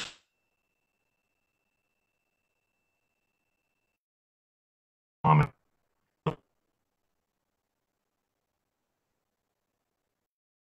Great reluctance, that I'm calling for Sheriff Villanueva to resign. I don't take this step lightly, uh, and I only do so because it has become apparent that he's demonstrated on multiple occasions that he lacks the judgment needed to be the sheriff, and that he's unable to provide the leadership needed by the sheriff's department. I'm only going to mention a few actions that the sheriff, that sheriff's taken that have led me to believe that the Los Angeles County Sheriff's Department itself deserves better, and that the men and women of the Los Angeles County Sheriff's Department deserve better. From the very beginning of his tenure, when he reinstated former deputy, uh, former deputy, uh, Deputy Mandoyan, who had been terminated for misconduct, Sheriff Villanueva has demonstrated a lack of judgment and a lack of the abil- ability to assess and reconsider his actions. Second, he's the only sheriff in modern Los Angeles history, and I'm going back to Sheriff Peter Pitchess, who has no effective relationship with the Board of Supervisors. Please understand when I say this, the sheriff is an independent elected official, and he is not beholden to the Board of Supervisors, nor should he be. But for the good of the sheriff's department, any sheriff knows, or should know, except apparently Sheriff Villanueva, that one should strive to develop a positive relationship with the Board of Supervisors. Not only has he failed to do so, he's gone out of his way to alienate and even insult supervisors. Thirdly, he's resisted efforts to provide oversight of the Sheriff's Department. When the commission asked him to appear and brief us regarding the actions being taken at the LA County Sheriff's Department's the LA County Jail in light of COVID 19, uh, he declined our invitation when we reluctantly issued a subpoena to compel his attendance, he defied it. And he sent uh, Assistant Sheriff Chase in his stead. Fifth, the Office of the Inspector General is the investigative arm of the Civilian Oversight Commission. Not only has the sheriff resisted providing information needed for legitimate oversight to the IG, but what can only be described as a crude intimidation tactic he indicated that the sheriff's department was investigating the inspector general, Mr. Huntsman. Six, in a time where reforms are being demanded and are long overdue, he has generally dragged his feet. He issued a policy last spring, which I and the commission applauded, that prohibits deputy cliques or deputy gangs, uh, but he's done little or nothing to enforce that policy. Next, I have reluctantly concluded that the LA Sheriff's Department, which has the potential to be one of the best, most professional law enforcement organizations in our country, which has many, many ded- dedicated deputies, deserves better. The sheriff is in no way responsible, of course, for the attack on the two deputies last Saturday, but his handling after the fact uh, was not what one would expect from a mature law enforcement leader. I'm sorry to say this, but the baiting of, of a professional basketball player is ridiculous. Uh, a press spokesman tweeting racist loaded comments, evidently and unexplainably still working for the sheriff's department. It boggles the mind. Next, uh, the unexplained and unexplainable uh, is his handling of deputies who inappropriately took photos and shared photos of the Kobe Bryant accident scene. Uh, but look, the list goes on. I'm going to stop there and just say uh, that the Los Angeles County Sheriff's Department deserves better, and so do the people of Los Angeles County. And so I'm asking uh, Sheriff Villanueva, for the good of the LASD and our community, to please resign. Let the record reflect I speak only for myself. I don't speak for any ad hoc committee, nor do I speak for the commission as a whole, but I must speak. Thank you, Madam Chair. Thank you, Commissioner Bonner. Um, Commissioner Ocen. Um, I would just say I'm, I'm, um, I'm a little, I'm very surprised uh, that, that, um, to, to hear what was a very eloquent statement, and I agree with it. Um, I do think the sheriff should resign for all the reasons you described, Judge, uh, and more. Uh, and for that reason, I would like to move uh, that the commission refer to the newly established resolution committee um, uh, and request that the committee draft uh, a resolution of no confidence in the sheriff. Commissioner Harris, second that. Um, You're muted, uh, Chair. Any, getting tired. Anybody else want to be heard on this, on this subject? Yes, Commissioner Tolentino. I would support the motion. I think it's each time uh, we, all those instances and circumstances that uh, Judge Bonner uh, articulated, I end up with like a simmering anger that this is what's happening with our sheriff's department. Um, each event, especially within the last month or so, and uh, it just seems like we we became very toothless at times. Um, to me, this is what uh, what we're supposed to be doing as a commission, an oversight of the uh, sheriff's department, and to do it with a thoughtful and articulate means and an analysis. I think uh, Judge Bonner did so well. Uh, I would support the motion of sending it over to the resolution committee to draft uh, a more specific language and uh, take it from there. Thank you. Um, Commissioner Giggans? You're good, Patti. Okay, um, yeah, I, I really want to, uh, express my respect for Commissioner Bonner for articulating a very tough position to take.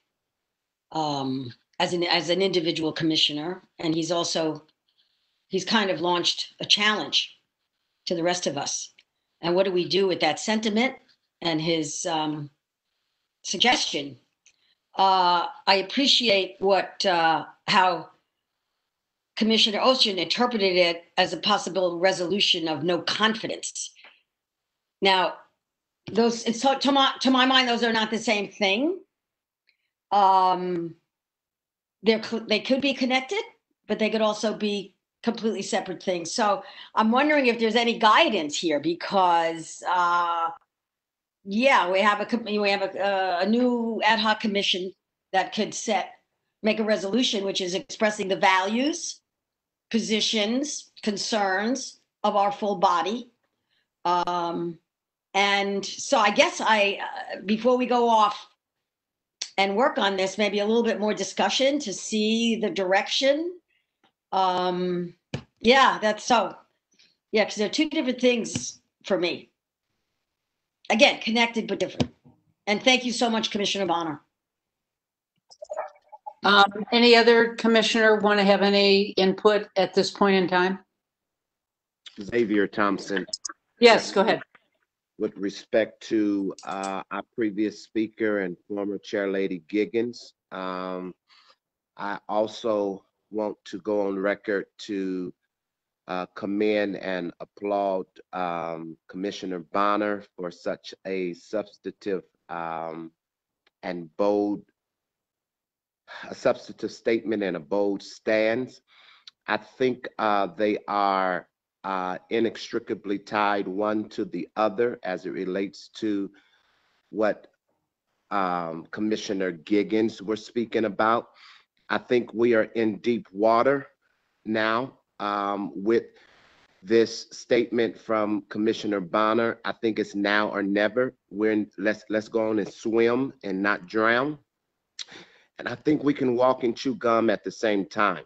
Um, as it relates to what Commissioner Ocen said, um, of punting this to the newly formed ad hoc commission to uh, put pen to pad as relates to a resolution. I think we can do that simultaneously. Um, I would love to um, poll the commission of today calling for the resignation of the sheriff and accompany it with a resolution in the coming days.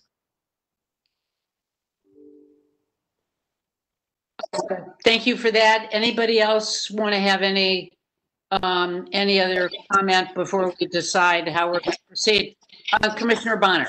And let me just say, uh, I spoke for myself.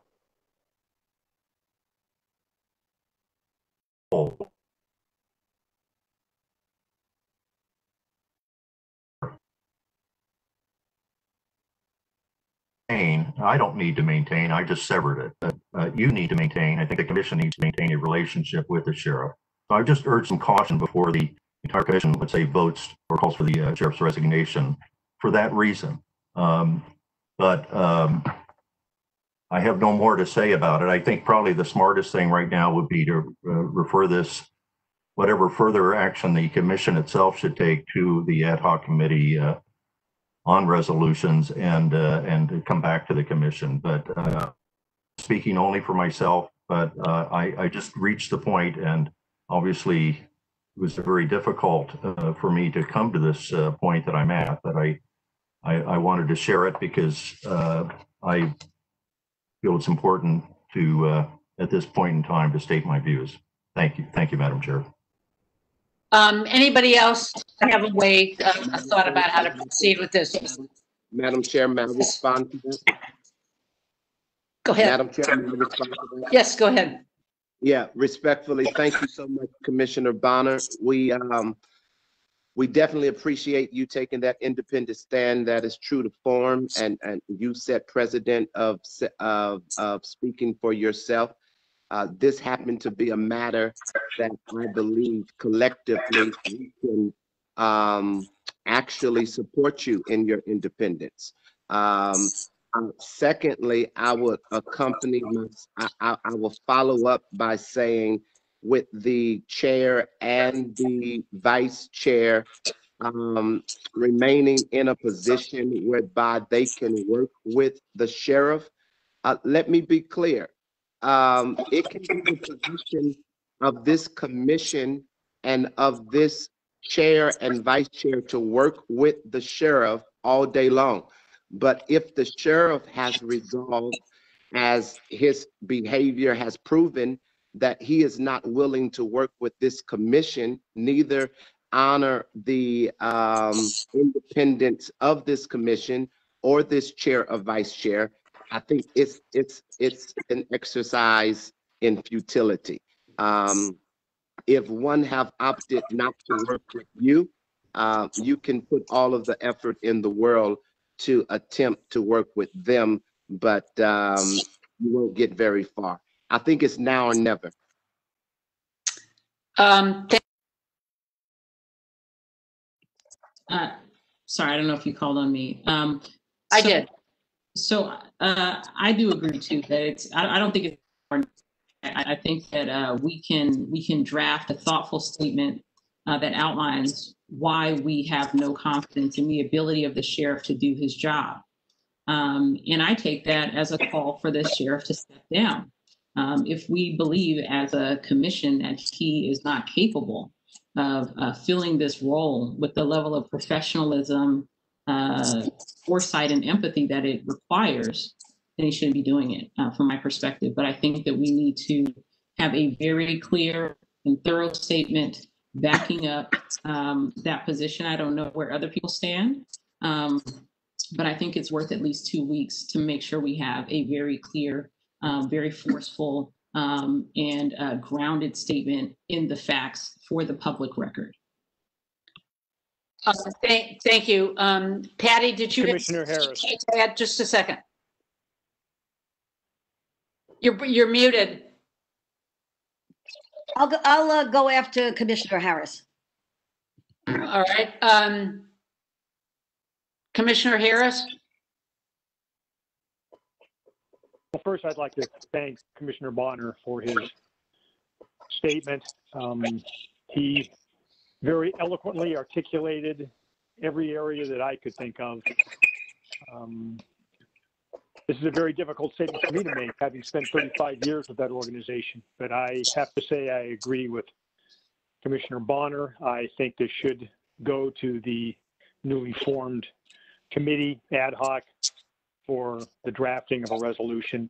I think the difference between a vote of no confidence and uh, asking for the resignation of the sheriff of Los Angeles County are pretty much the same thing, but I think it should be drafted. We give it some due deliberation. Um, But I couldn't agree more with the sentiments that uh, Commissioner Bonner has articulated. Um, So I think we need to move forward with this. Thank you. Um, thank you for that. Um, Pastor Thompson, did you want to add anything at this point? No. Okay. Patti, did you want to add anything at this point? Uh, yes, thank you. Um, I, uh, this is quite a serious step. And I feel like I want to say what I have said publicly before. And that the sheriff's department does not have the leader it deserves.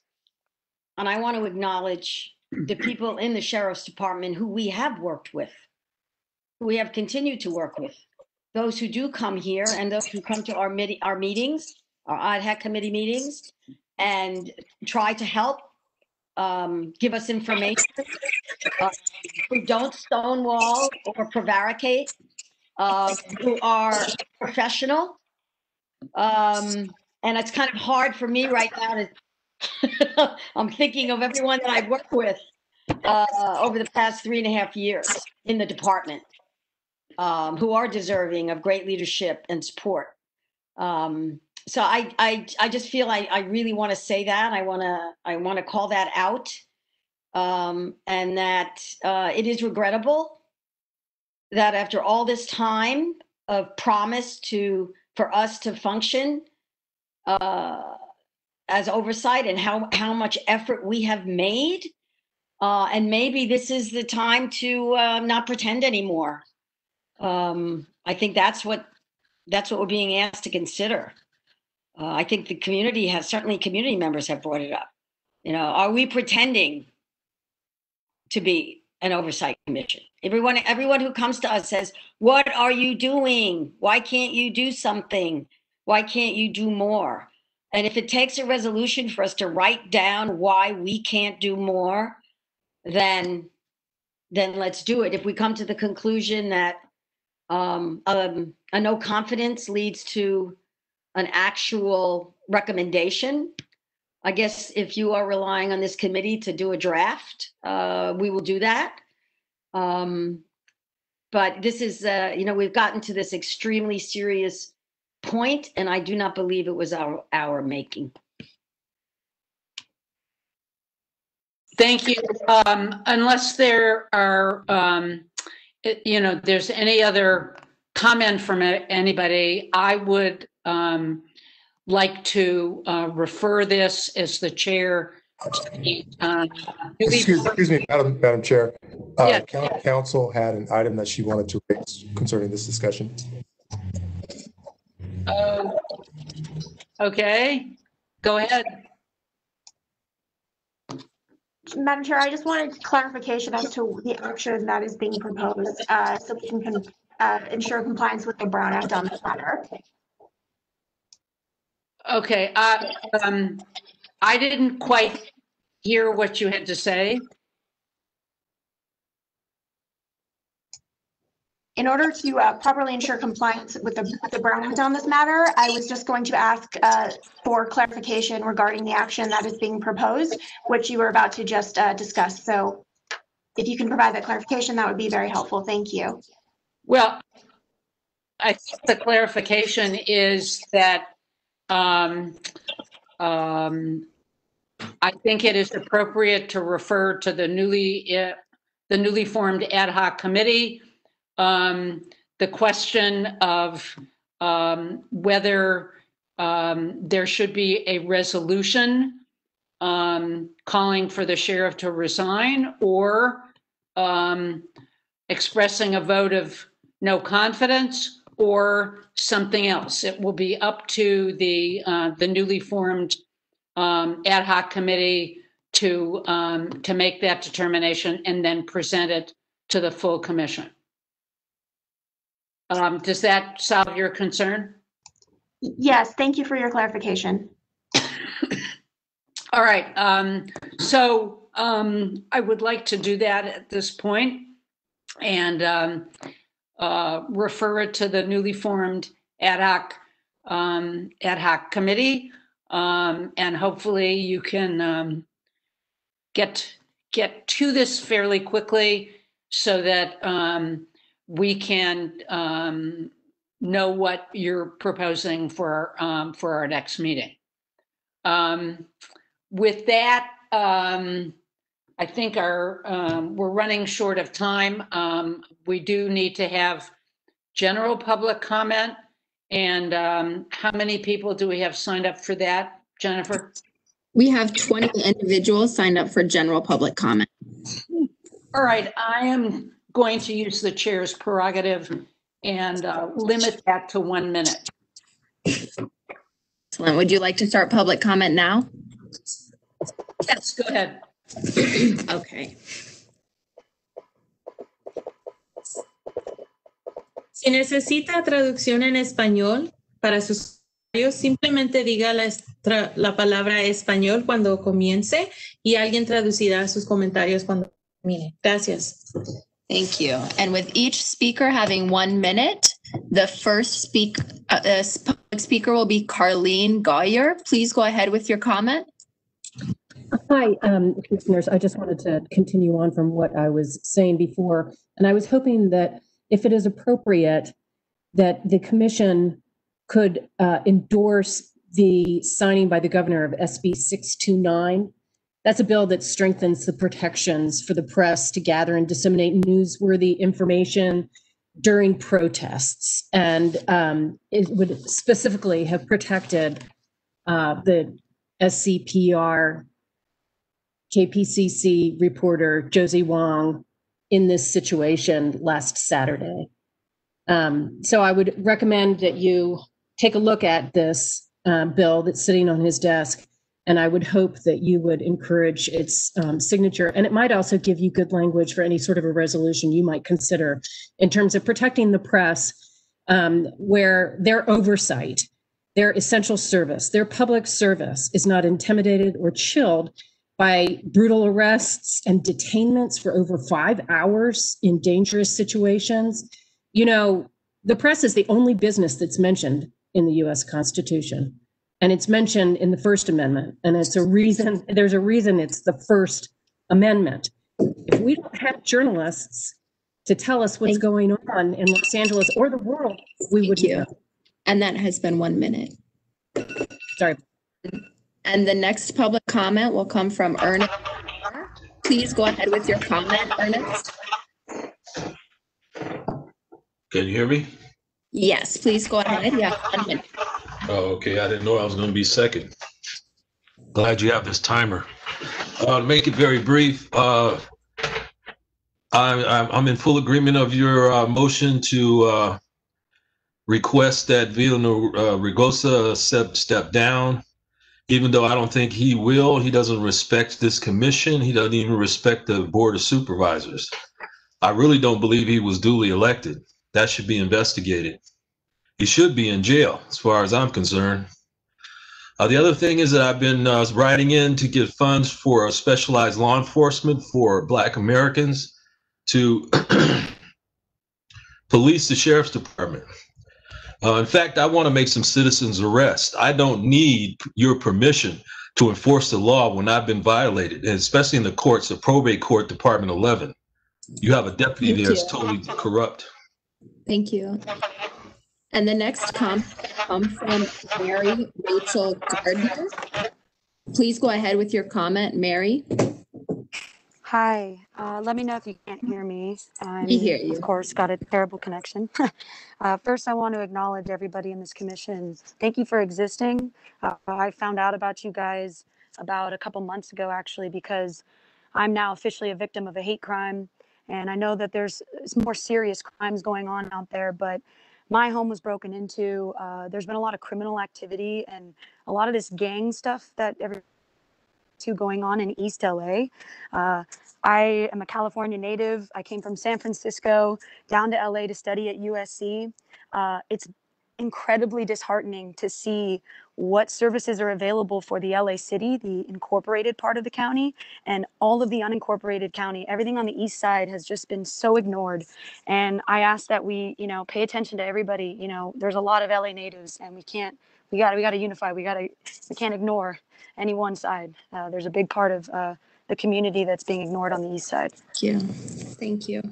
And the next public comment will come from Stephanie Mullen. Please go ahead with your comment, Stephanie. Stephanie Mullen, you're unmuted. Please go ahead with your comment. Hi, thank you very much. Uh, Stephanie Mullen, Associate Director with Strength United. Again, I just want to thank the Commission for the work that you're doing and the thoughtfulness. Um, and that's my comment at this time. Thank you. Thank you. Next comment will come from Mary Garcia. Please go ahead with your comment. Uh, yes, hello. Um, good afternoon. First thing, I would like to thank um, the commi- Commissioner Bonner for such a courageous, um, accurate, and eloquent statement um, that I think should really be considered. But I think you guys should probably ask yourselves the question as to, um, as far as accountability, because who is to guarantee that the next person that steps in is going to follow through with and do their job accurately like they're supposed to? Um, uh, there's also something that I wanted to mention regarding um, the overcrowding of jails. Um, I know this might be a little bit over your jurisdiction, but um, you know, uh, people in prisons um, are not being allowed to parole. For instance, they're being kept even though that they are um, ready to be product, productive members of society, and this is causing, you know, po- uh, the jails, um, prisons to be overpopulated and crowded. And I think that is something that um, even though it's out of your jurisdiction, it is tied up to what we are living and going through today. So I ask that you consider that. Thank you. Thank you. Thank you. And the next comment will come from Justin Porter. Please go ahead with your comment, Justin. Hi, uh, my girlfriend just spoke earlier. That's uh, Mary Gardner. Uh, we're, we're residents of East LA, and perfect, personally, um, yeah, we uh, we had our home broken into, and the sheriff's response was eh, they're just behind, and their reporting is is, is they, they, I feel like they, they need to pay more attention to detail when they're reporting, and and we're, we're dealing with dispatch, and yeah, again, we we live in unincorporated part of the county that's pretty much ignored by pub- public works. And um, you know th- there's a lot of there's a lot coming in and out of here that's out of our control. And i could see how people are disheart- disheartened by all the red tape that we have to go through to get any kind of actions done over here otherwise you know i could see people are vigilante up themselves because of uh, the mistreatment and i've been personally harassed by sheriff's deputies um, this year uh, too many times than I that I can, can count. So I want to see some change uh, countywide. Thank, Thank you. And the next comment will come from Carlos Montes. Please go ahead with your comment, Carlos. Uh, yes, uh, I spoke earlier. Uh, Carlos Montes, I'm with uh, Centro CSO Community Service Organization. I totally support the movement to uh, demand that Villanueva, not Villaraigosa, somebody said, resign. He needs to be out. He is a rogue cop. He's a criminal. He's a member of the Banditos. We have it firsthand. I grew up and lived in East LA. I moved out of East LA because I got tired of harassing by the sheriffs. Uh, he needs to be ousted. He's going to continue to be rogue. He's going to say, I'm elected, so we may have to elect him out of there. You know, we, we uh, demanded that Baca resign, and he finally got put in jail. So we need to do an independent investigation, maybe the FBI or the Attorney General on Villanueva, so we can find out what charges he could be charged with to use that as a vehicle to get him to resign. But I totally support, I look forward to making a public comment in support of a resolution in the future demanding that Alex Villanueva resign. He is a disgrace. Thank you very much. Thank you. And the next comment will come from Francis Orr. Please go ahead with your comment. Hello. Let me see if I can. You can hear me. We, we hear you. Please go ahead. Hello. Francis, we hear you. Please go ahead with your comment. Okay, um, hearing nothing, uh, the next comment will come from Regi Bunch. Please go ahead with your comment, Regi.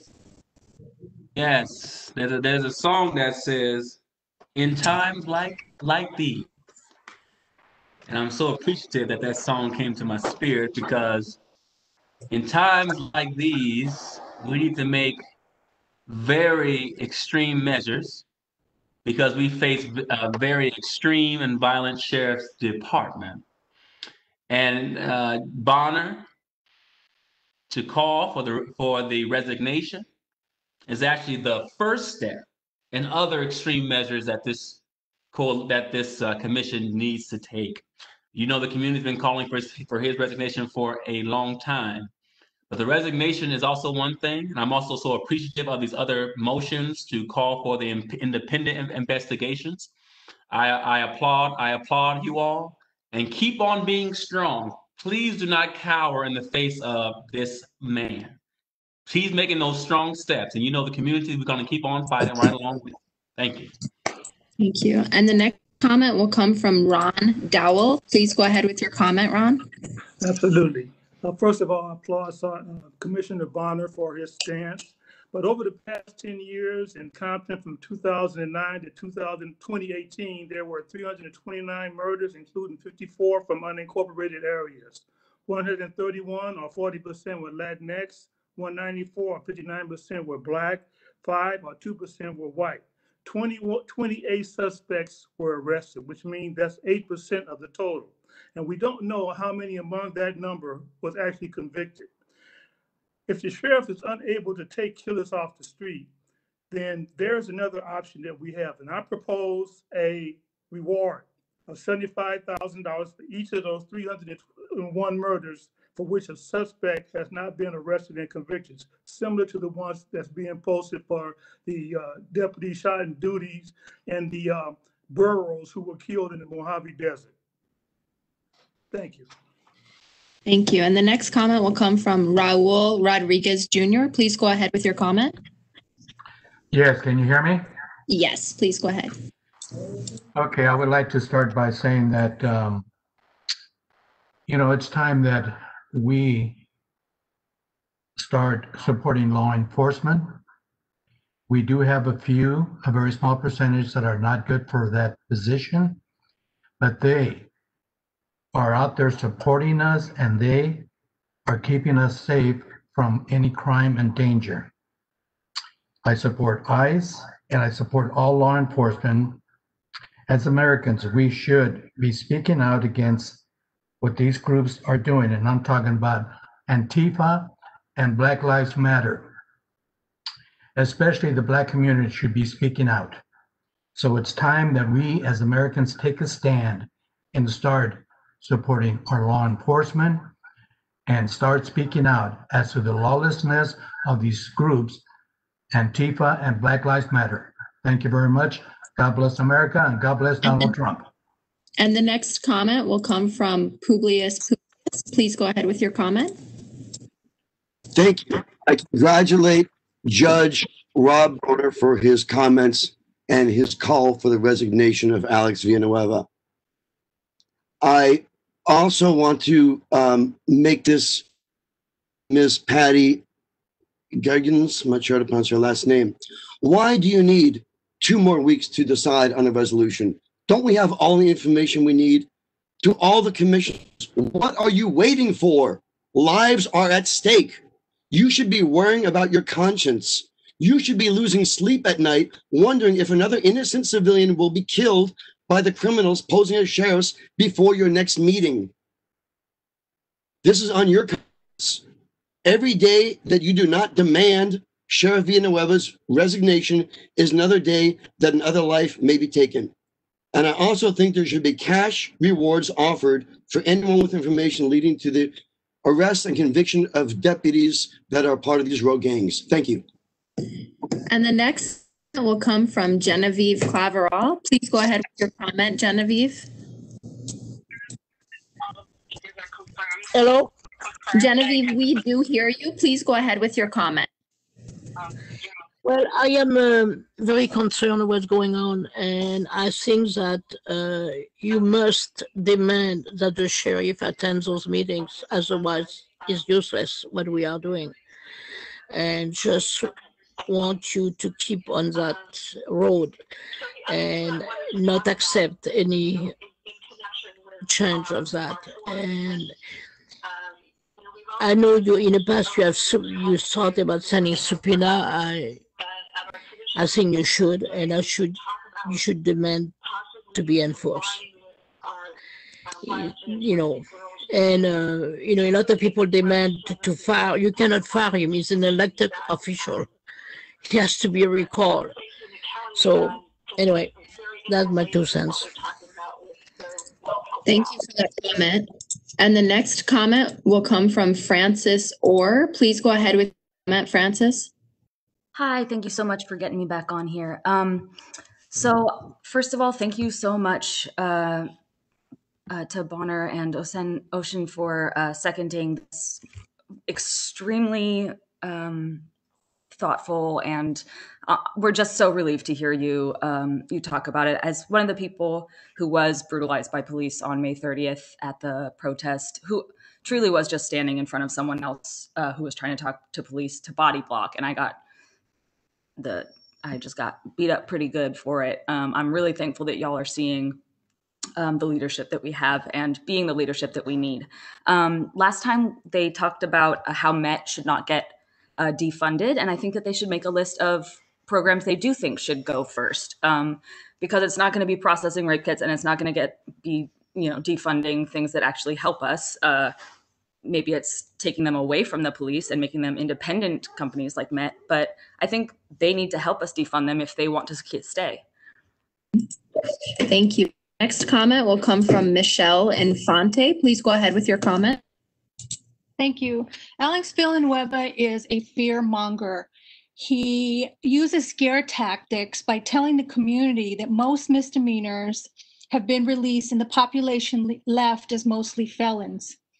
They love posturing themselves physically in public and then um, using brutal violence against people in the community and killing them. That he enjoys putting out a false narrative for everything. And you know that. And I have much appreciation for Commissioner Bonner's statement that he made today regarding Alex Villa- Villanueva resigning. I've been watching what's happening to these families for the last six years, and it's sickening to come every month and see these people suffering.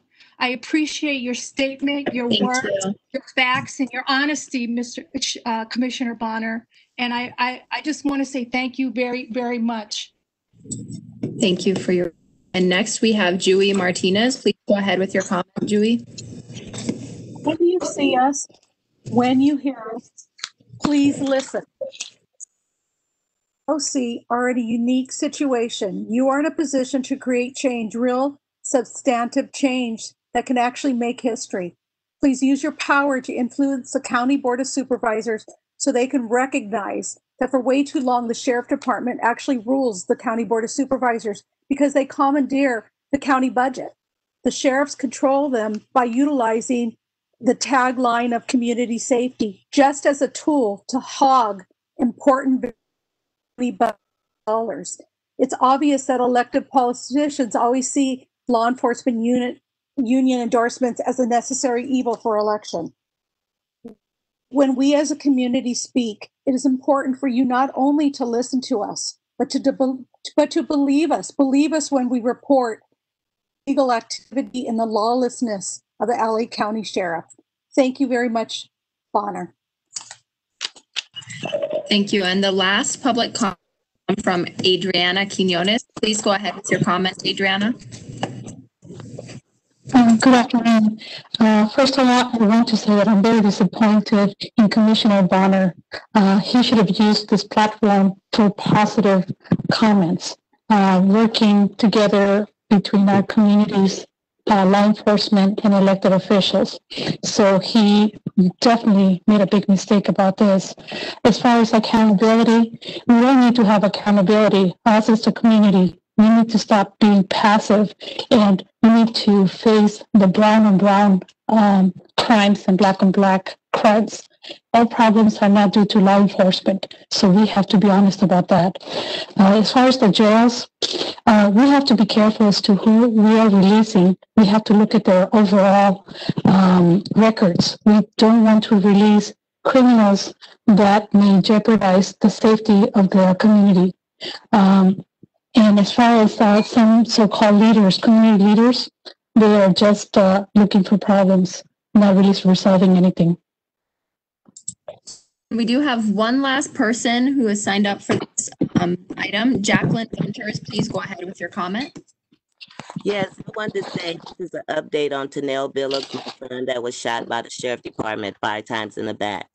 Um, Inspector General sent the, a request, this is the fourth time, to have investigation. Sergeant John Gutierrez refused to do an investigation based on the evidence showing that um, it was a corruption.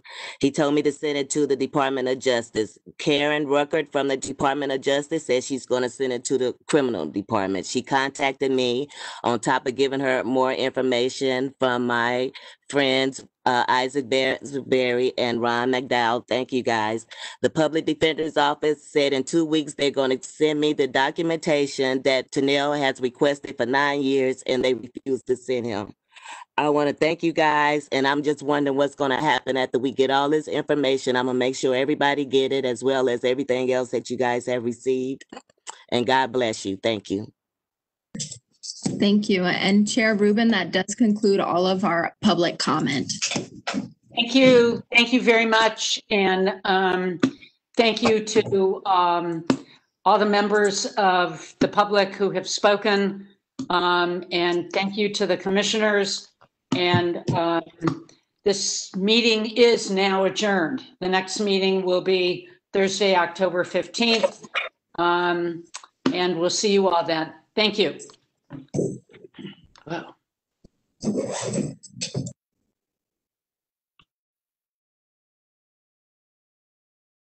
Thank you, Leo. See you.